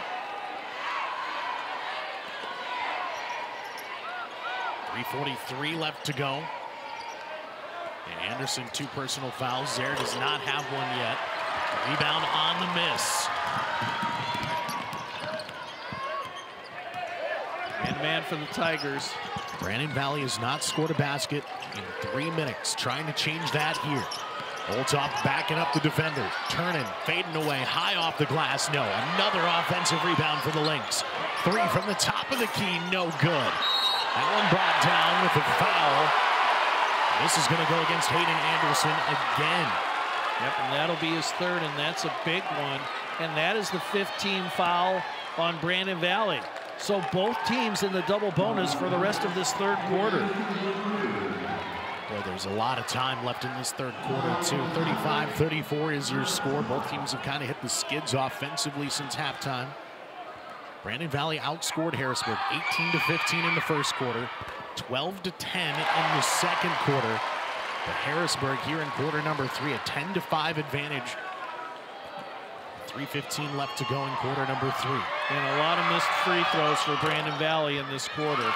Speaking of missed free throws, one of two this time around. It's 35 all ball game now with just over three minutes left to go here in quarter number three. Olthoff running the offense out around the perimeter. Good ball movement here from Brandon Valley. No real urgency in their game right now other than just running their offense cleanly. Bodies go flying again. This one pinballed across a couple legs. A foul called on the play. This will go against Harrisburg. That is against Plack and his third foul. Feldy hit the deck at the top of the key. He's looking to the official. It's like, hey, where's the foul when I got wiped out? Plack and Phipps each with three personal fouls now for this Harrisburg team. Fouls also a concern on Brandon Valley's side. Miller, Anderson, and Knutson all with three personal fouls. Something to keep an eye on here as this game goes a little deeper. You might have to see some of these bench players get involved in this basketball game before it's all said and done. Speaking of which, Phipps will come off the bench. He couldn't sit by and watch any longer. The three personal fouls, but he'll come back into the game. Costain goes to the sideline. He's played hard, earned minutes tonight, eight minutes off the bench. This one off the left side of the iron comes with contact again. And again, we will have more free throws as this just kind of turned into a stop and go affair here as of late between these two teams. Jacoby at the line, 6'4 senior guard had a pretty good day today. Five points, struggled a bit from the field with his two for eight shooting, but four rebounds, four assists, finding a way to stay involved in the action. He's an 80% free throw shooter on the season. His sister, also a lefty, played last weekend for Harrisburg at the uh, girls AA tournament. She's a sophomore. Another one coming up. Merman puts it on, puts it in, and it's a one-point Harrisburg lead. 37-36 who scored. The streak for Brandon Valley continues, now closing in on four minutes without a make from the field better intensity defensively for the Tigers here in this second half. Harrisburg has doubled up Brandon Valley's point total in this half of action as Olthoff goes up and in, drew some contact. Camden Phipps, who just checked back into the game, picks up his fourth personal foul, and he will have to retreat right back to the sidelines just pure determination and strength from Olthoff. Again, I think Phipps was in good position, Steve, right up until he kind of lost his footing. He went up in the air just a little bit, drew the contact in. Now we'll have to sit back down, and you may not see him again until about four minutes left in this basketball game. Olthoff, front side of the iron, no, and the free throw struggles continue for Brandon Valley. Now seven of 17 at the line today. And Olthoff by himself has missed all five of his free throws in this quarter. That pass nearly intercepted, recovered. The offense continues chugging along here for Harrisburg. 15 on the shot clock, two minutes to go in the third quarter. This one to the outside. Nice switch there by the Lynx. Merman on the attack. The floater with the left hand hangs on the rim and falls.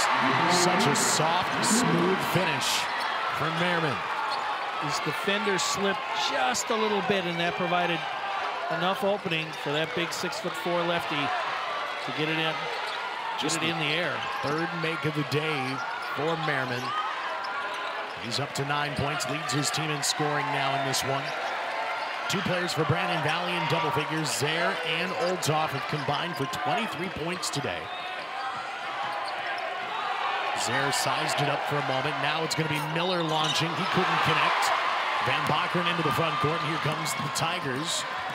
Maybe not with numbers on their side. Now Merman, a little burst of speed, went up strong. I think they're going to call an offensive foul. Lowered the shoulder just a little bit as he went up, but Coach Langerock not going to like that call. Let's check out the replay from the baseline. Well, yeah, you could have called an offensive foul on him twice. He had the wraparound with the arm, Steve, and then plenty of body contact as he made contact underneath the hoop. Under a minute to go now. Nice pass again from Olthoff. How many times today are we going to say it? The big man's got eyes sometimes in the back of his head. Breathing like the Galapagos lizard out there, finding the open shooter. That one hangs on the rim. That's good. Merman again. You can tell a lot of these guys have played together as teammates for a long time. They've just kind of got that sixth sense about them sometimes about where their teammates are going to be, when they need to find them on the floor. We've seen that from Olthoff plenty here in this tournament. He's been such a big part of what the Lynx do. A near steal from Van Bockern. Great ball movement, the extra pass. Olthoff, his offensive rebound. The second chance doesn't go. A wild sequence there for Brandon Valley. They've got a chance to tie and take the lead here now with just 12 and a half seconds left to go in this third quarter. Merman just got his third foul. Boy, this one just won't fall twice in a row for Olthoff. Big man has had to work hard today. 11 points, four rebounds, given 12 points now on the day. Three assists to go along with his stat line. He's played 23 minutes out there for Brandon Valley.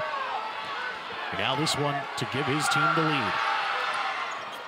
Bingo. He had missed his five previous free throw attempts, but two big ones there. Zarin Olthoff combined for 24 of Brandon Valley's 42 points today. Van Bockern's shot is blocked. Olthoff heaves it up in the air, well short of the mark, but Brandon Valley, they weathered the storm. Harrisburg actually outscored them in this quarter, 16 to 12, but it's Brandon Valley with the one-point lead. We head to the final eight minutes of this semifinal matchup when we come back. The word cooperative means working together for a common purpose. At Agtegra Cooperative, we are dedicated to supporting the success of our farmers and the health of our communities for generations to come. Rooted in our communities, Agtegra strives to instill dedication, determination, and integrity in everything we do, and that includes inspiring the next generation of agricultural leaders. Bioethanol supplies more than just energy. It creates jobs in rural communities. It drives demand for local corn. It provides opportunities for family farms to thrive to ensure agriculture plays a leading role in the efforts to decarbonize and transition energy, bioethanol remains at the forefront of a pursuit for a cleaner, brighter future for all Americans. Learn how at sdethanol.com.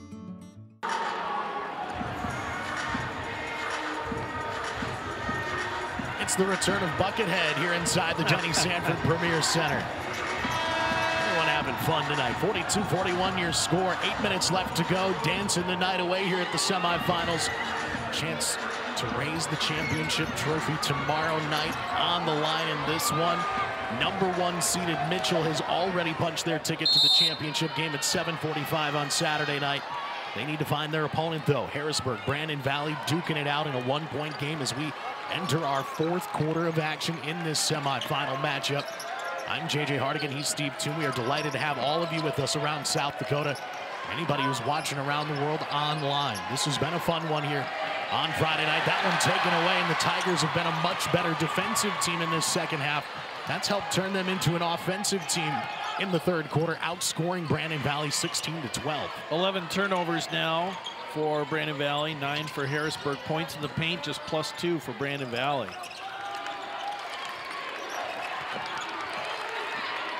Tigers have outscored Brandon Valley 26 to 24 since the start of the second quarter. This has been within a three-point game pretty much the whole way. Long three, well short. Olthoff the rebound for Brandon Valley. You gotta wonder if the legs are starting to get just a little shaky here for the Tigers. That was a good defensive stand by Brandon Valley. They're looking for the big man Olthoff inside. He's got 13 points today to lead all scores in this one. There he is. He'll step out for the long two. No. And a one and done for both teams.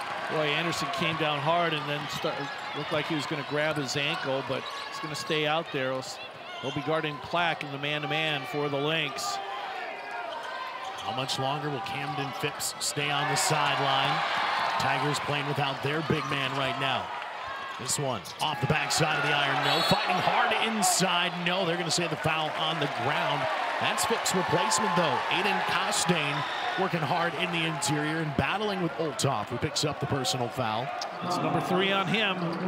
Four Brandon Valley players now with three personal fouls. Phipps is the only player in this contest in true foul trouble. He's on the bench with four. Plack has three on the other end for Harrisburg. That's really the extent of your foul trouble situation right now, though. Is this one launched off the front side of the iron, no good.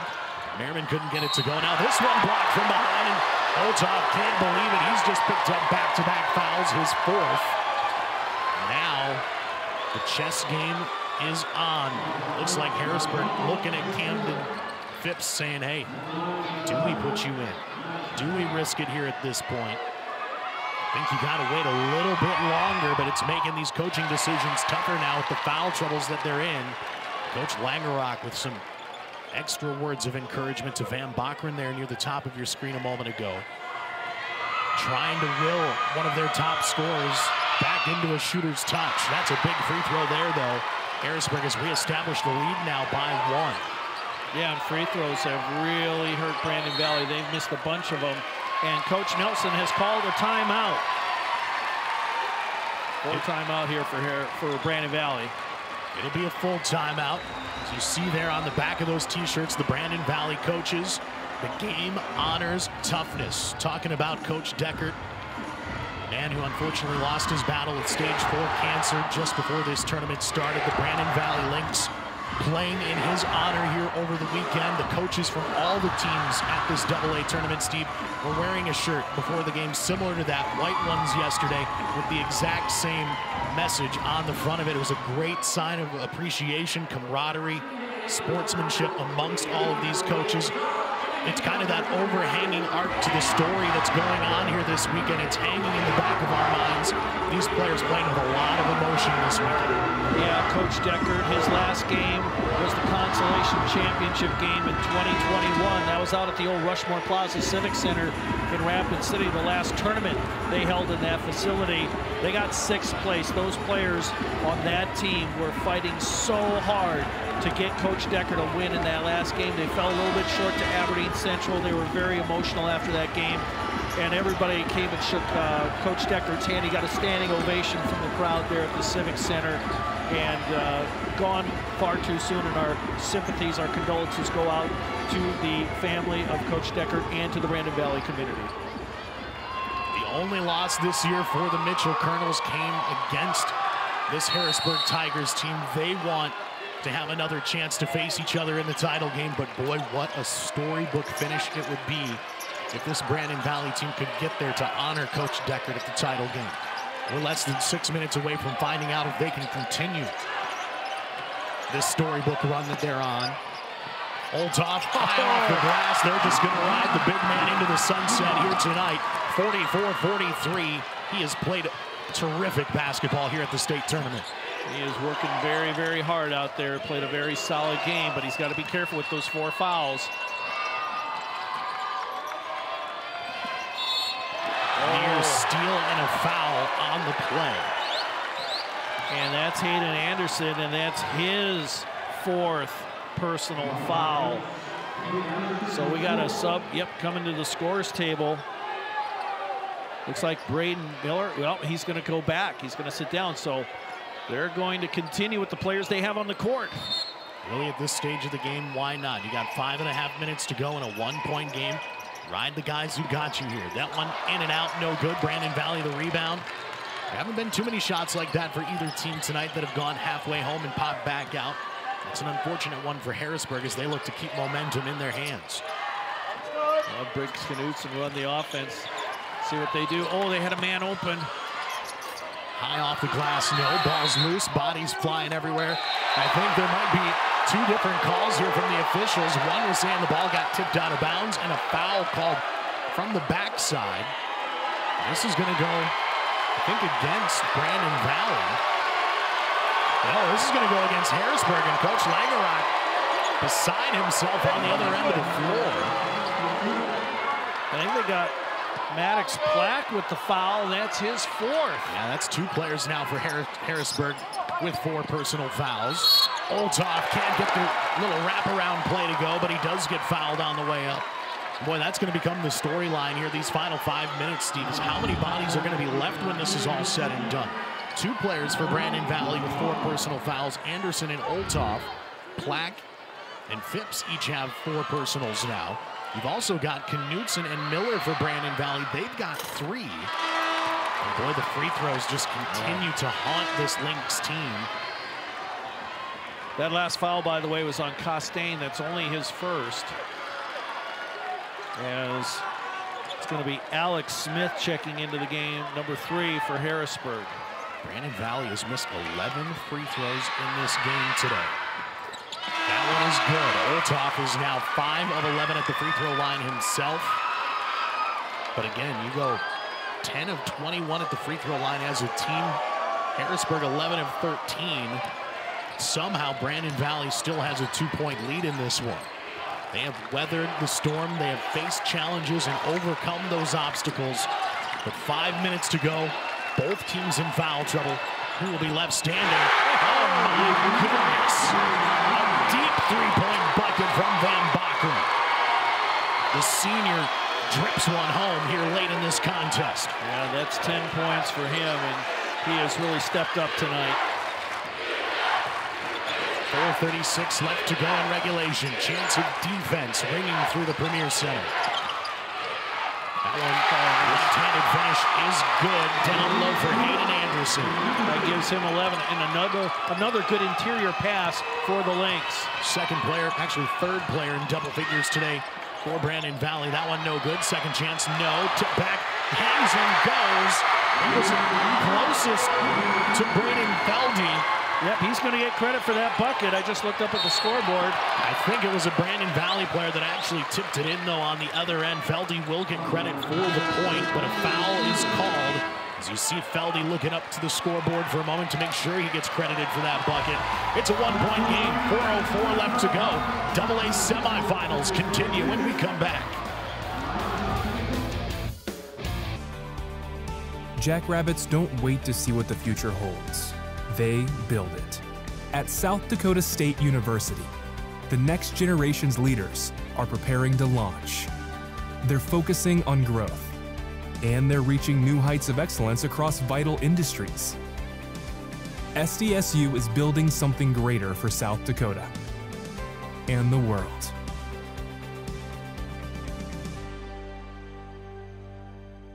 What does primary care mean to us? At Sanford Health, it means being there when and where you need it most. It means building a relationship, because when a provider really knows you, they can deliver the best care for every aspect of your health and your life. So, what does primary care mean for you? It means understanding your health for today and for where you're headed next. It means a lifetime of care for a lifetime of you.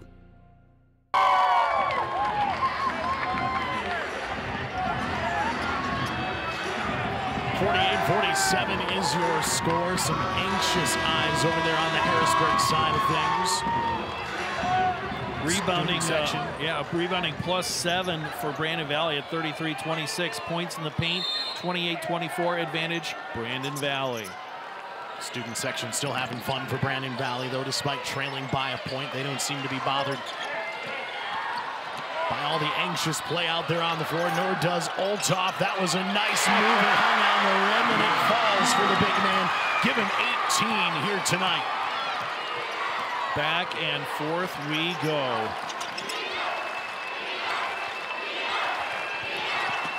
Drive inside, Fearless. That hangs on the rim. It's an offensive foul, though it will not count. Merriman just picked up his third. And that was Olthoff who just held his ground there for Brandon Valley, and he's slow to get up. Four personal fouls today. He could have easily fouled out there. He didn't care. He was going to put his body on the line. That's the top scorer today for this Brandon Valley team. 18 points, six rebounds, three assists. Maybe one of the biggest defensive plays of the season for Brandon Valley right there. Yeah, and he's got to adjust those cochlear implants. And of course, we have that feature from Tales from the Hardwood about that young man and uh, that he's able to play and play at the level he has done all year. Outstanding performance. Uh, no matter, you know, no matter who you're cheering for in this game, you have to respect that young man and tip your cap to him. He, he's a fine young man. Three and a half minutes left to go in this one. A trip to the championship game on the line in a one-point contest. Nice dish. Got stripped away, though, as Olthoff tried to go up. Now Van Bockern, NBA range three, that off the front side of the iron. No, loose ball picked up by Brandon Valley and down. And injured is one of the top players, Feldy, on the other end for the Harrisburg Tigers. And now they stop action with the injury over there. I think a timeout has been called by Harrisburg. Well, they can't call timeout because they didn't have the ball, but I think it's an injury stoppage. And they are going to take a look at Braden Feldy. He is down. It's a right wrist, left wrist. He had it taped up before this game began and may have just jammed it again. They're going to take a look at him on the sidelines, but the officials stopping the action here. 10 to the injured player with 3.06 left to go. They'll get order restored. Yeah, well, the referee's explaining the stoppage of play here. And that, uh, that stoppage of play worked in favor of the Tigers because it was five on four in favor of the Lynx. Alex Smith, the senior guard, checks back into the action for Harrisburg. Olthoff, the turnaround, no. Rebounded. Merriman for the Tigers, pushing this in a one-point game. His team down at the moment with under three minutes to go. There's Alex Smith. He'll bring it up to the top of the key and around to the right side. Tigers want to get it back in the hands of Merriman. That one hangs on the rim, hits twice but doesn't go. Now Olthoff hands it off. Into the front court we go. Delaney trying to go coast to coast. His shot partially blocked by Phipps. Ball picked up by the Tigers. Coach Craig Nelson thought it should have been goaltending. Now timeout called by Harrisburg. They want to talk things over in a full timeout. Coach Nelson is furious over there on the Brandon Valley side. Again, he thought it was goaltending with Phipps going up trying to swat that shot a moment ago. So a little drama here late in this one with 2.23 left to play in a one-point game. Tensions starting to get a little high. Don't forget, you can follow SDPB Sports on your mobile device all season long. Check us out on Facebook, Twitter, and Instagram. Be sure to check out all of our action and award photos by searching for SDPB on Flickr. You can tell us where you're watching us from. We'd like to hear from you. And you can read some of our great stories or watch some of our videos that feature the teams, the players, and the coaches in South Dakota. At SDPB Sports, hashtag SDHoops24. There you see the Brandon Valley student section cheering them on. I guess you could technically call this the suburb semifinals. These two teams on the outskirts of Sioux Falls. They have brought a big community of fans to this one here today, and it has been a loud, raucous group. Yeah, headbang your night away, man. It's going to hurt tomorrow, but these two teams are going to leave it all out on the line tonight, see what they've got left in them for that championship game against Mitchell tomorrow. One of these two teams, two and a half minutes away from punching their ticket. Feldy back on the court for Harrisburg. Phipps out there with his four. This one a jumper from the free throw line, and there's Merriman clapping his hands in appreciation of the effort from his teammates, but he drops in two big points. 13 on the day now for him to lead all Tigers scores, and it's a one-point Harrisburg advantage. Brandon Valley with it now with two minutes to play. Olthoff dumping it down low. The turnaround with the right hand, and that one's good. Nice finish inside that time for Hayden Anderson. Yep, nice little baby hook there. Defender had to be careful. He's got 13 points. Olthoff is the game's top scorer. Merriman tried to shoot over his outstretched hands that time. comes up empty. Lynx with the lead and the possession. Delaney going to get a timeout called. Mm -hmm. Coach Craig Nelson calls it just as his guard got across the half-court line. It'll be a full timeout to talk things over. 94 seconds left to go in this one. A one-point game here in Sioux Falls. Boy, anybody's contest here. While we got a moment, I want to send out a shout-out to Jo Auch from the High School Activities Association. I've known her pretty much all my life, and she is retiring at the end oh. of the school year. And, uh, of course, those will be big shoes to fill for the High School Activity Association. I believe she's up at the uh, B tournament. And uh, I didn't haven't had a chance to talk to her in a while, but uh, uh, we certainly wish all the best for Jo. I know she'll still be involved. It's not like she's going to be sitting on the porch in a rocking chair. Uh, that's not Jo Auch. Not, not one bit, no. We are pretty lucky to have Paul Seville running our tournament here in Sioux Falls this weekend, but Jo has done such a great job for such a long time facilitating things up in Aberdeen or wherever they send her to represent the state of South Dakota's high school athletics. She's one of the greats. We've worked with her a lot yes. over the years up in Aberdeen, and that's going to be a tough one not to have her around anymore, but I'm sure we'll see her in a gym out on a field somewhere in the near future.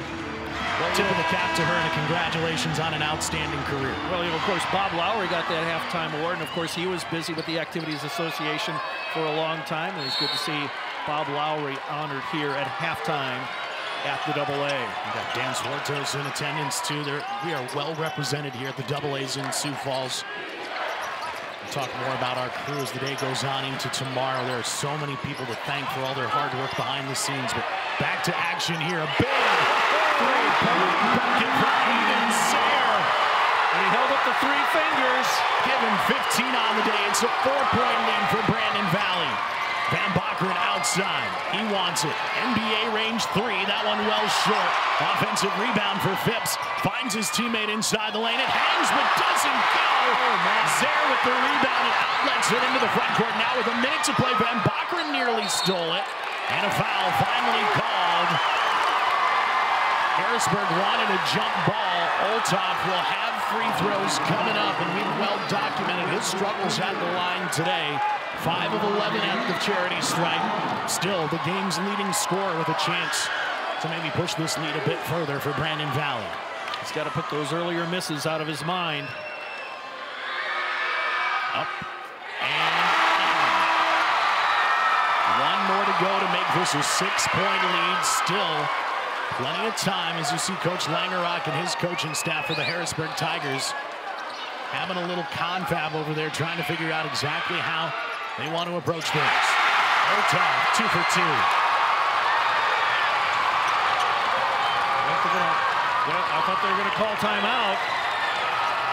Down to the final 45 seconds. Merriman around Olthoff, and now a foul, that's going to be number five on the big man. Tough foul to get there. Yeah. All the contact we've had tonight, that was a bit of a touch foul, but still proper execution by our officials. You'll hear the boo birds. The Brandon Valley fans don't like it. But it is the correct call as the big man fouls out. It'll be a 30-second timeout called by Harrisburg as they try to draw up the magic play here. They'll have a fresh 35 on the shot clock. But again, you're down by six. Can't utilize that much time. It's got to be something fairly quick here. Question got to be a three. Yeah, and the question now, Steve, is you play the clock out. Does Harrisburg say, okay, maybe we foul and take away a three-point opportunity from you in this situation? That's easier said than done, though, with all the foul troubles both teams are dealing with right now you risk losing another player to foul trouble the rest of the way. Just isn't that really opportunities here right now to do that type of thing. So you're going to have to play tough nose-to-nose, man-to-man defense and just hope for a stop and hope you don't commit a foul that allows this Harrisburg team to creep back into this game. And what we saw earlier today, you don't want to foul the shooter beyond that three-point line. We've had some wild moments here on day two of this tournament. This right now a six-point game make-or-break moment here for the Harrisburg Tigers. In search of their first double-A state championship. They need things to go their way. Merriman almost went over the line, had to throw it back. Now turns it over, and the Lynx will recover the basketball. Yeah, they were living dangerously here on the tightrope at center court. Merriman almost fell over, had to throw it away, and now Phipps is fouled out of this one, so the two big men are gone on either side of the court. Olthoff fouls out with 20 points on the day. Phipps is fouled out with six. Now watch it again. Now that ball could have gone into the back court, and then Phip, and then Merman could have picked it up. That would have been a legal play, but he kind of got trapped in no man's land, and his momentum was taking him into the back court. That's a tough, tough break. Now another free throw missed. Brandon Valley, 50% from the free throw line today. Had they not missed even half of the ones they've missed here, they would be in a great position to win this one. Still, this is a bit in doubt. That there, though, from Hayden Anderson makes it a seven-point game with 34 seconds to go. Merriman into the front court. The Tigers looking for a big shot. That one hangs on the rim and goes. A huge bucket there for Jacoby Merriman, the future USF basketball player. He'll be playing his college ball here in town. Not quite yet. He's still got some time with the Tigers. And the senior just put in one of his biggest shots of the season. But now Harrisburg has to get a steal on the inbounds play. If they don't, you may try a quick trap, but you can't really let more than five or six seconds tick off the clock before you have to maybe have to commit a foul. Both teams will be over the limit. There's Tyler Peterson in attendance today. What's up, Tyler? Seen a lot of folks from the Harrisburg area in attendance for this one. They got some anxious eyes in the stands right now, though. They're hoping their Tigers can find a way to get to this title game. Five points. The difference in this one, you got to figure we're going to see a few more free throw opportunities out there. Where Brandon Valley struggles today, anything could happen here down the stretch. And if the Tigers do get a steal, it's up to the other players to find an opening on that three-point line. Lynx will inbound it. They can use the whole lot of the baseline, get it inbounded. Now a foul called quickly. Long walk to the other end of the floor we go. Mr. Briggs Knutson, the sophomore, 5'8", will step up to the line. He's only taken one shot from the field today, and that was a miss. No points in 11 minutes. These are big free throws here for the sophomore. On the year, 71%. He'll remember it's double bonus time.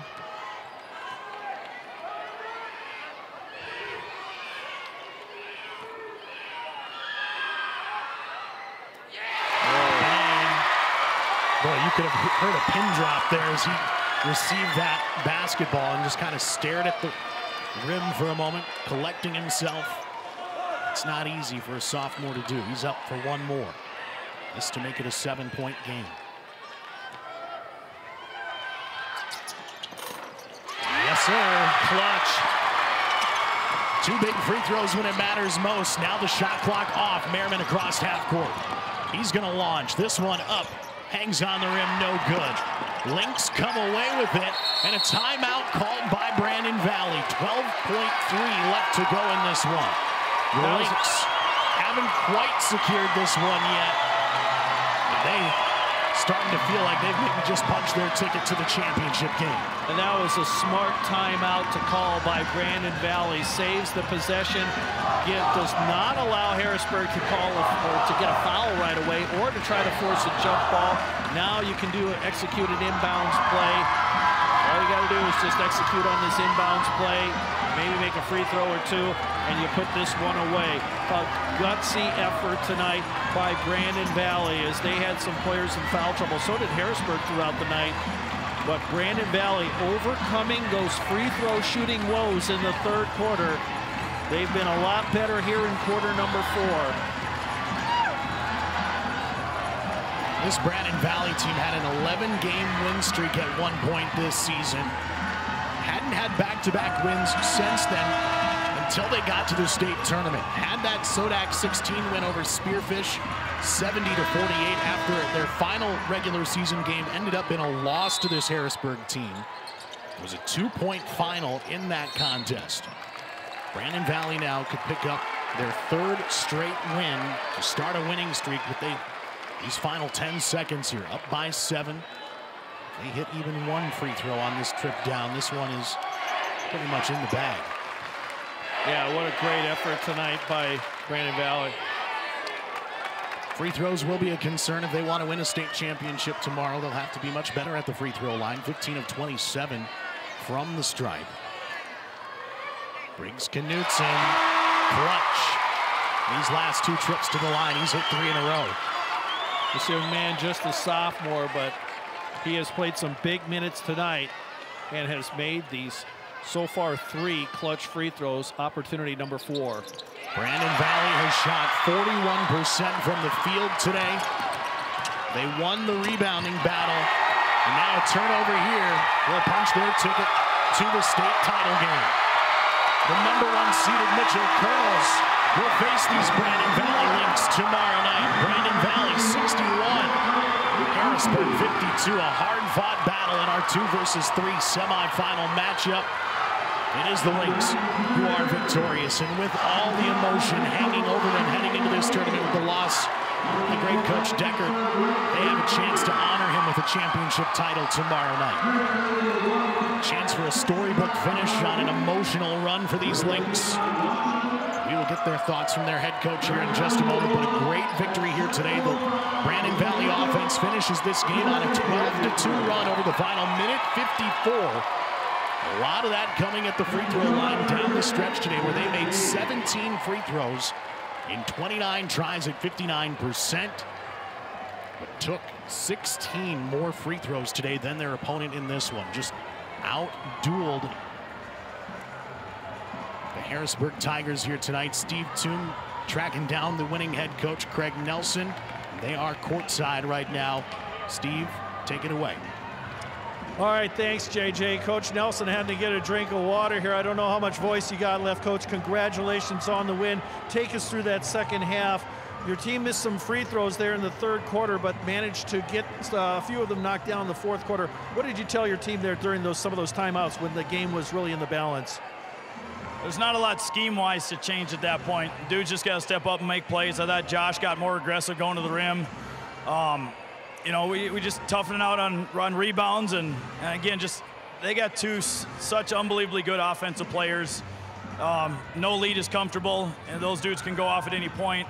I thought we were really solid. Thought we boxed out well in the second half. Just kept it simple. You make your layups, your free throws, you box out.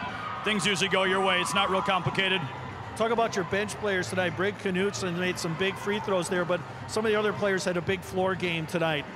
I thought in both games so far, bench has played extremely well. Came in and gave us good minutes for Briggs to handle the ball, make free throws when we needed it.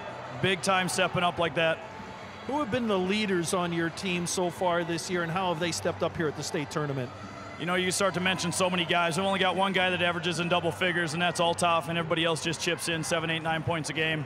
Landon Delaney plays unbelievable defense. You know, we got to get a little bit from everybody um, every single night and uh, off the court, who have been the leaders on this team? You know, the unselfishness of our seniors. You know, you can tell when you give the ball to Josh Olthoff, he's going to get something good. He's so unselfish passing it back out. Um, Hayden Anderson inside. Um, Brady Wells um, in a limited role in these last few days, but he's been huge throughout the season.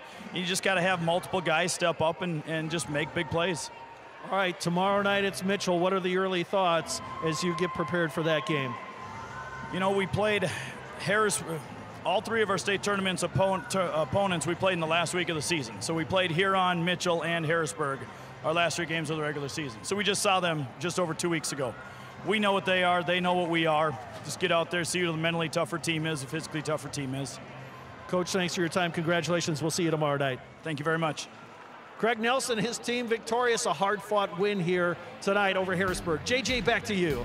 Thanks, Steve. We'll take a time out. When we come back, we'll dissect the highlights, the stats, get you ready for tomorrow. One more day, four more games from the Double A Boys State Basketball Tournament. We'll preview that when we come back. Dreamer, doer, difference maker. These are just a few things we look for when growing our team at Dakota Bank. Those with empathy and a commitment to doing what's right build their careers with us. If you're about relationships and helping others, Dakota Bank is calling. Will you answer? Go with integrity. Go with teamwork. Go with Dakota Bank. The most gratifying thing about what I do day in and day out is, is I get to watch things grow When you look at corn and the huge role it plays in feed for our for our cattle and our you know our livestock, our pigs is so huge. Also our ethanol plants. I sit on South Dakota Corn Growers Association. We're focused on policy, so we work with state representatives as well as our state senators and our, our representative in Washington.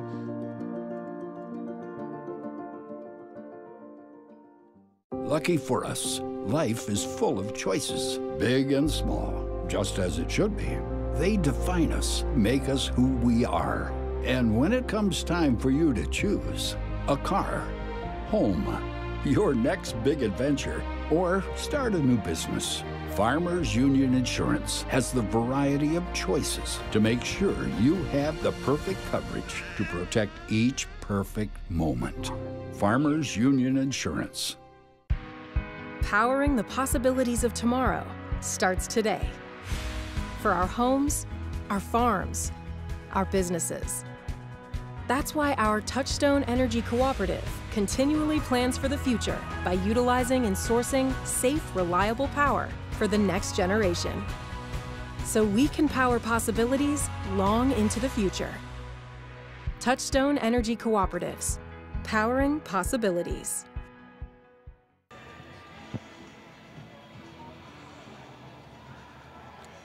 Welcome back inside the Denny Sanford Premier Center. One final time here on Friday. Now the semifinals in the books. 61-52, your final score. Brandon Valley with the win as we dive right into the highlights. Second half was action-packed. It was neck and neck the whole way. Brandon Valley pulled away late with their free throws. Used a 12-2 run over the final two minutes to secure this victory here on Friday night, but not without some effort on the other end from the Tigers. No, Harrisburg actually was down by five at the intermission, came back and tied it up, and then it was just nip and tuck for a good chunk of that fourth quarter. So big play there by Rylan Carroll, and then that was at the end of the third quarter as Josh Olthoff had a monster night. Van Bockern, and that's the long-range three.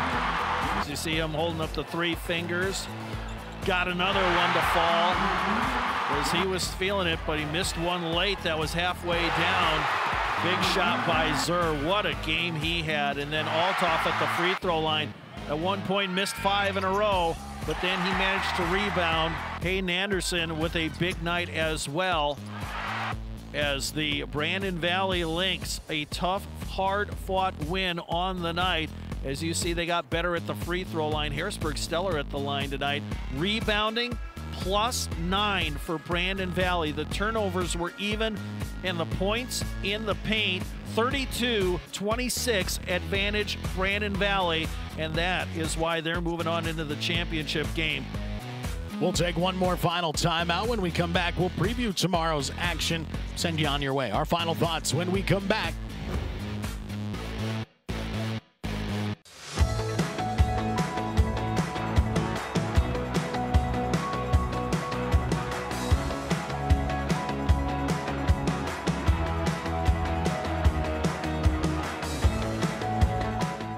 Sometimes having 15 of something is great. Like 15 pizzas. Nice. But for days of class missed, 15 or more is not so great. The best way for students to own their tomorrow is being present today. See why good habits matter at showupsd.com. Our teams are committed to improving quality of life in our communities. Whether we're planning construction concepts, building a new downtown development, bringing new businesses to our communities, or maintaining your apartment home. We believe everyone deserves a well built and well managed place to live and work. This is Lloyd. Oh my goodness.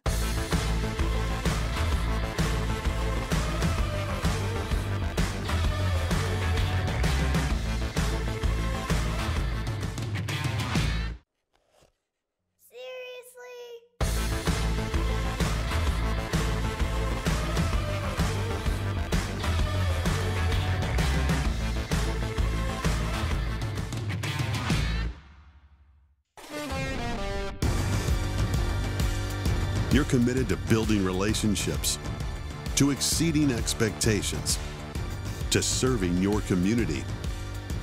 Your financial partner should share your vision and your values. For 130 years, we've stood by South Dakotans. We've been there, we'll be there. Convenient, connected, committed. Bank West, member FDIC. I decided to switch my major. I didn't want to do sports anymore, so I decided Southeast Tech would be a good one for me to go. The current instructor is a captain with the Highway Patrol. He had a lot of experience and knowledge about the job. I serve the people just as much as they serve me. 61-52 your final score in this one on SDPB3. The AA Boys State Tournament on the semifinal side of things is now in the books. We start looking ahead to tomorrow night. This is how our championship side will take a look. 6 o'clock tomorrow, it'll be number 5 Sioux Falls, Washington against number 2 Harrisburg. That'll be our third place game. Mitchell, Brandon Valley will duke it out for the title coming up at 7:45 tomorrow night. That will be our championship tilt. Should be a good one. Mitchell with just one loss on the year. Brandon Valley with all this emotion, all this kind of extra stuff going on around the scenes today with the loss of Coach Deckert. They've got all this weight on their shoulders. They keep rising to the occasion. Will the number three seed come away with the title, get that storybook finish, or is Mitchell the team of destiny? We'll find out at 7:45. Should make for a fun night of basketball. Steve, your final thoughts? Well, kind of weird sessions because both games today, one-sided contest in the opener, both the afternoon and the evening, and then nail biters in the second contest.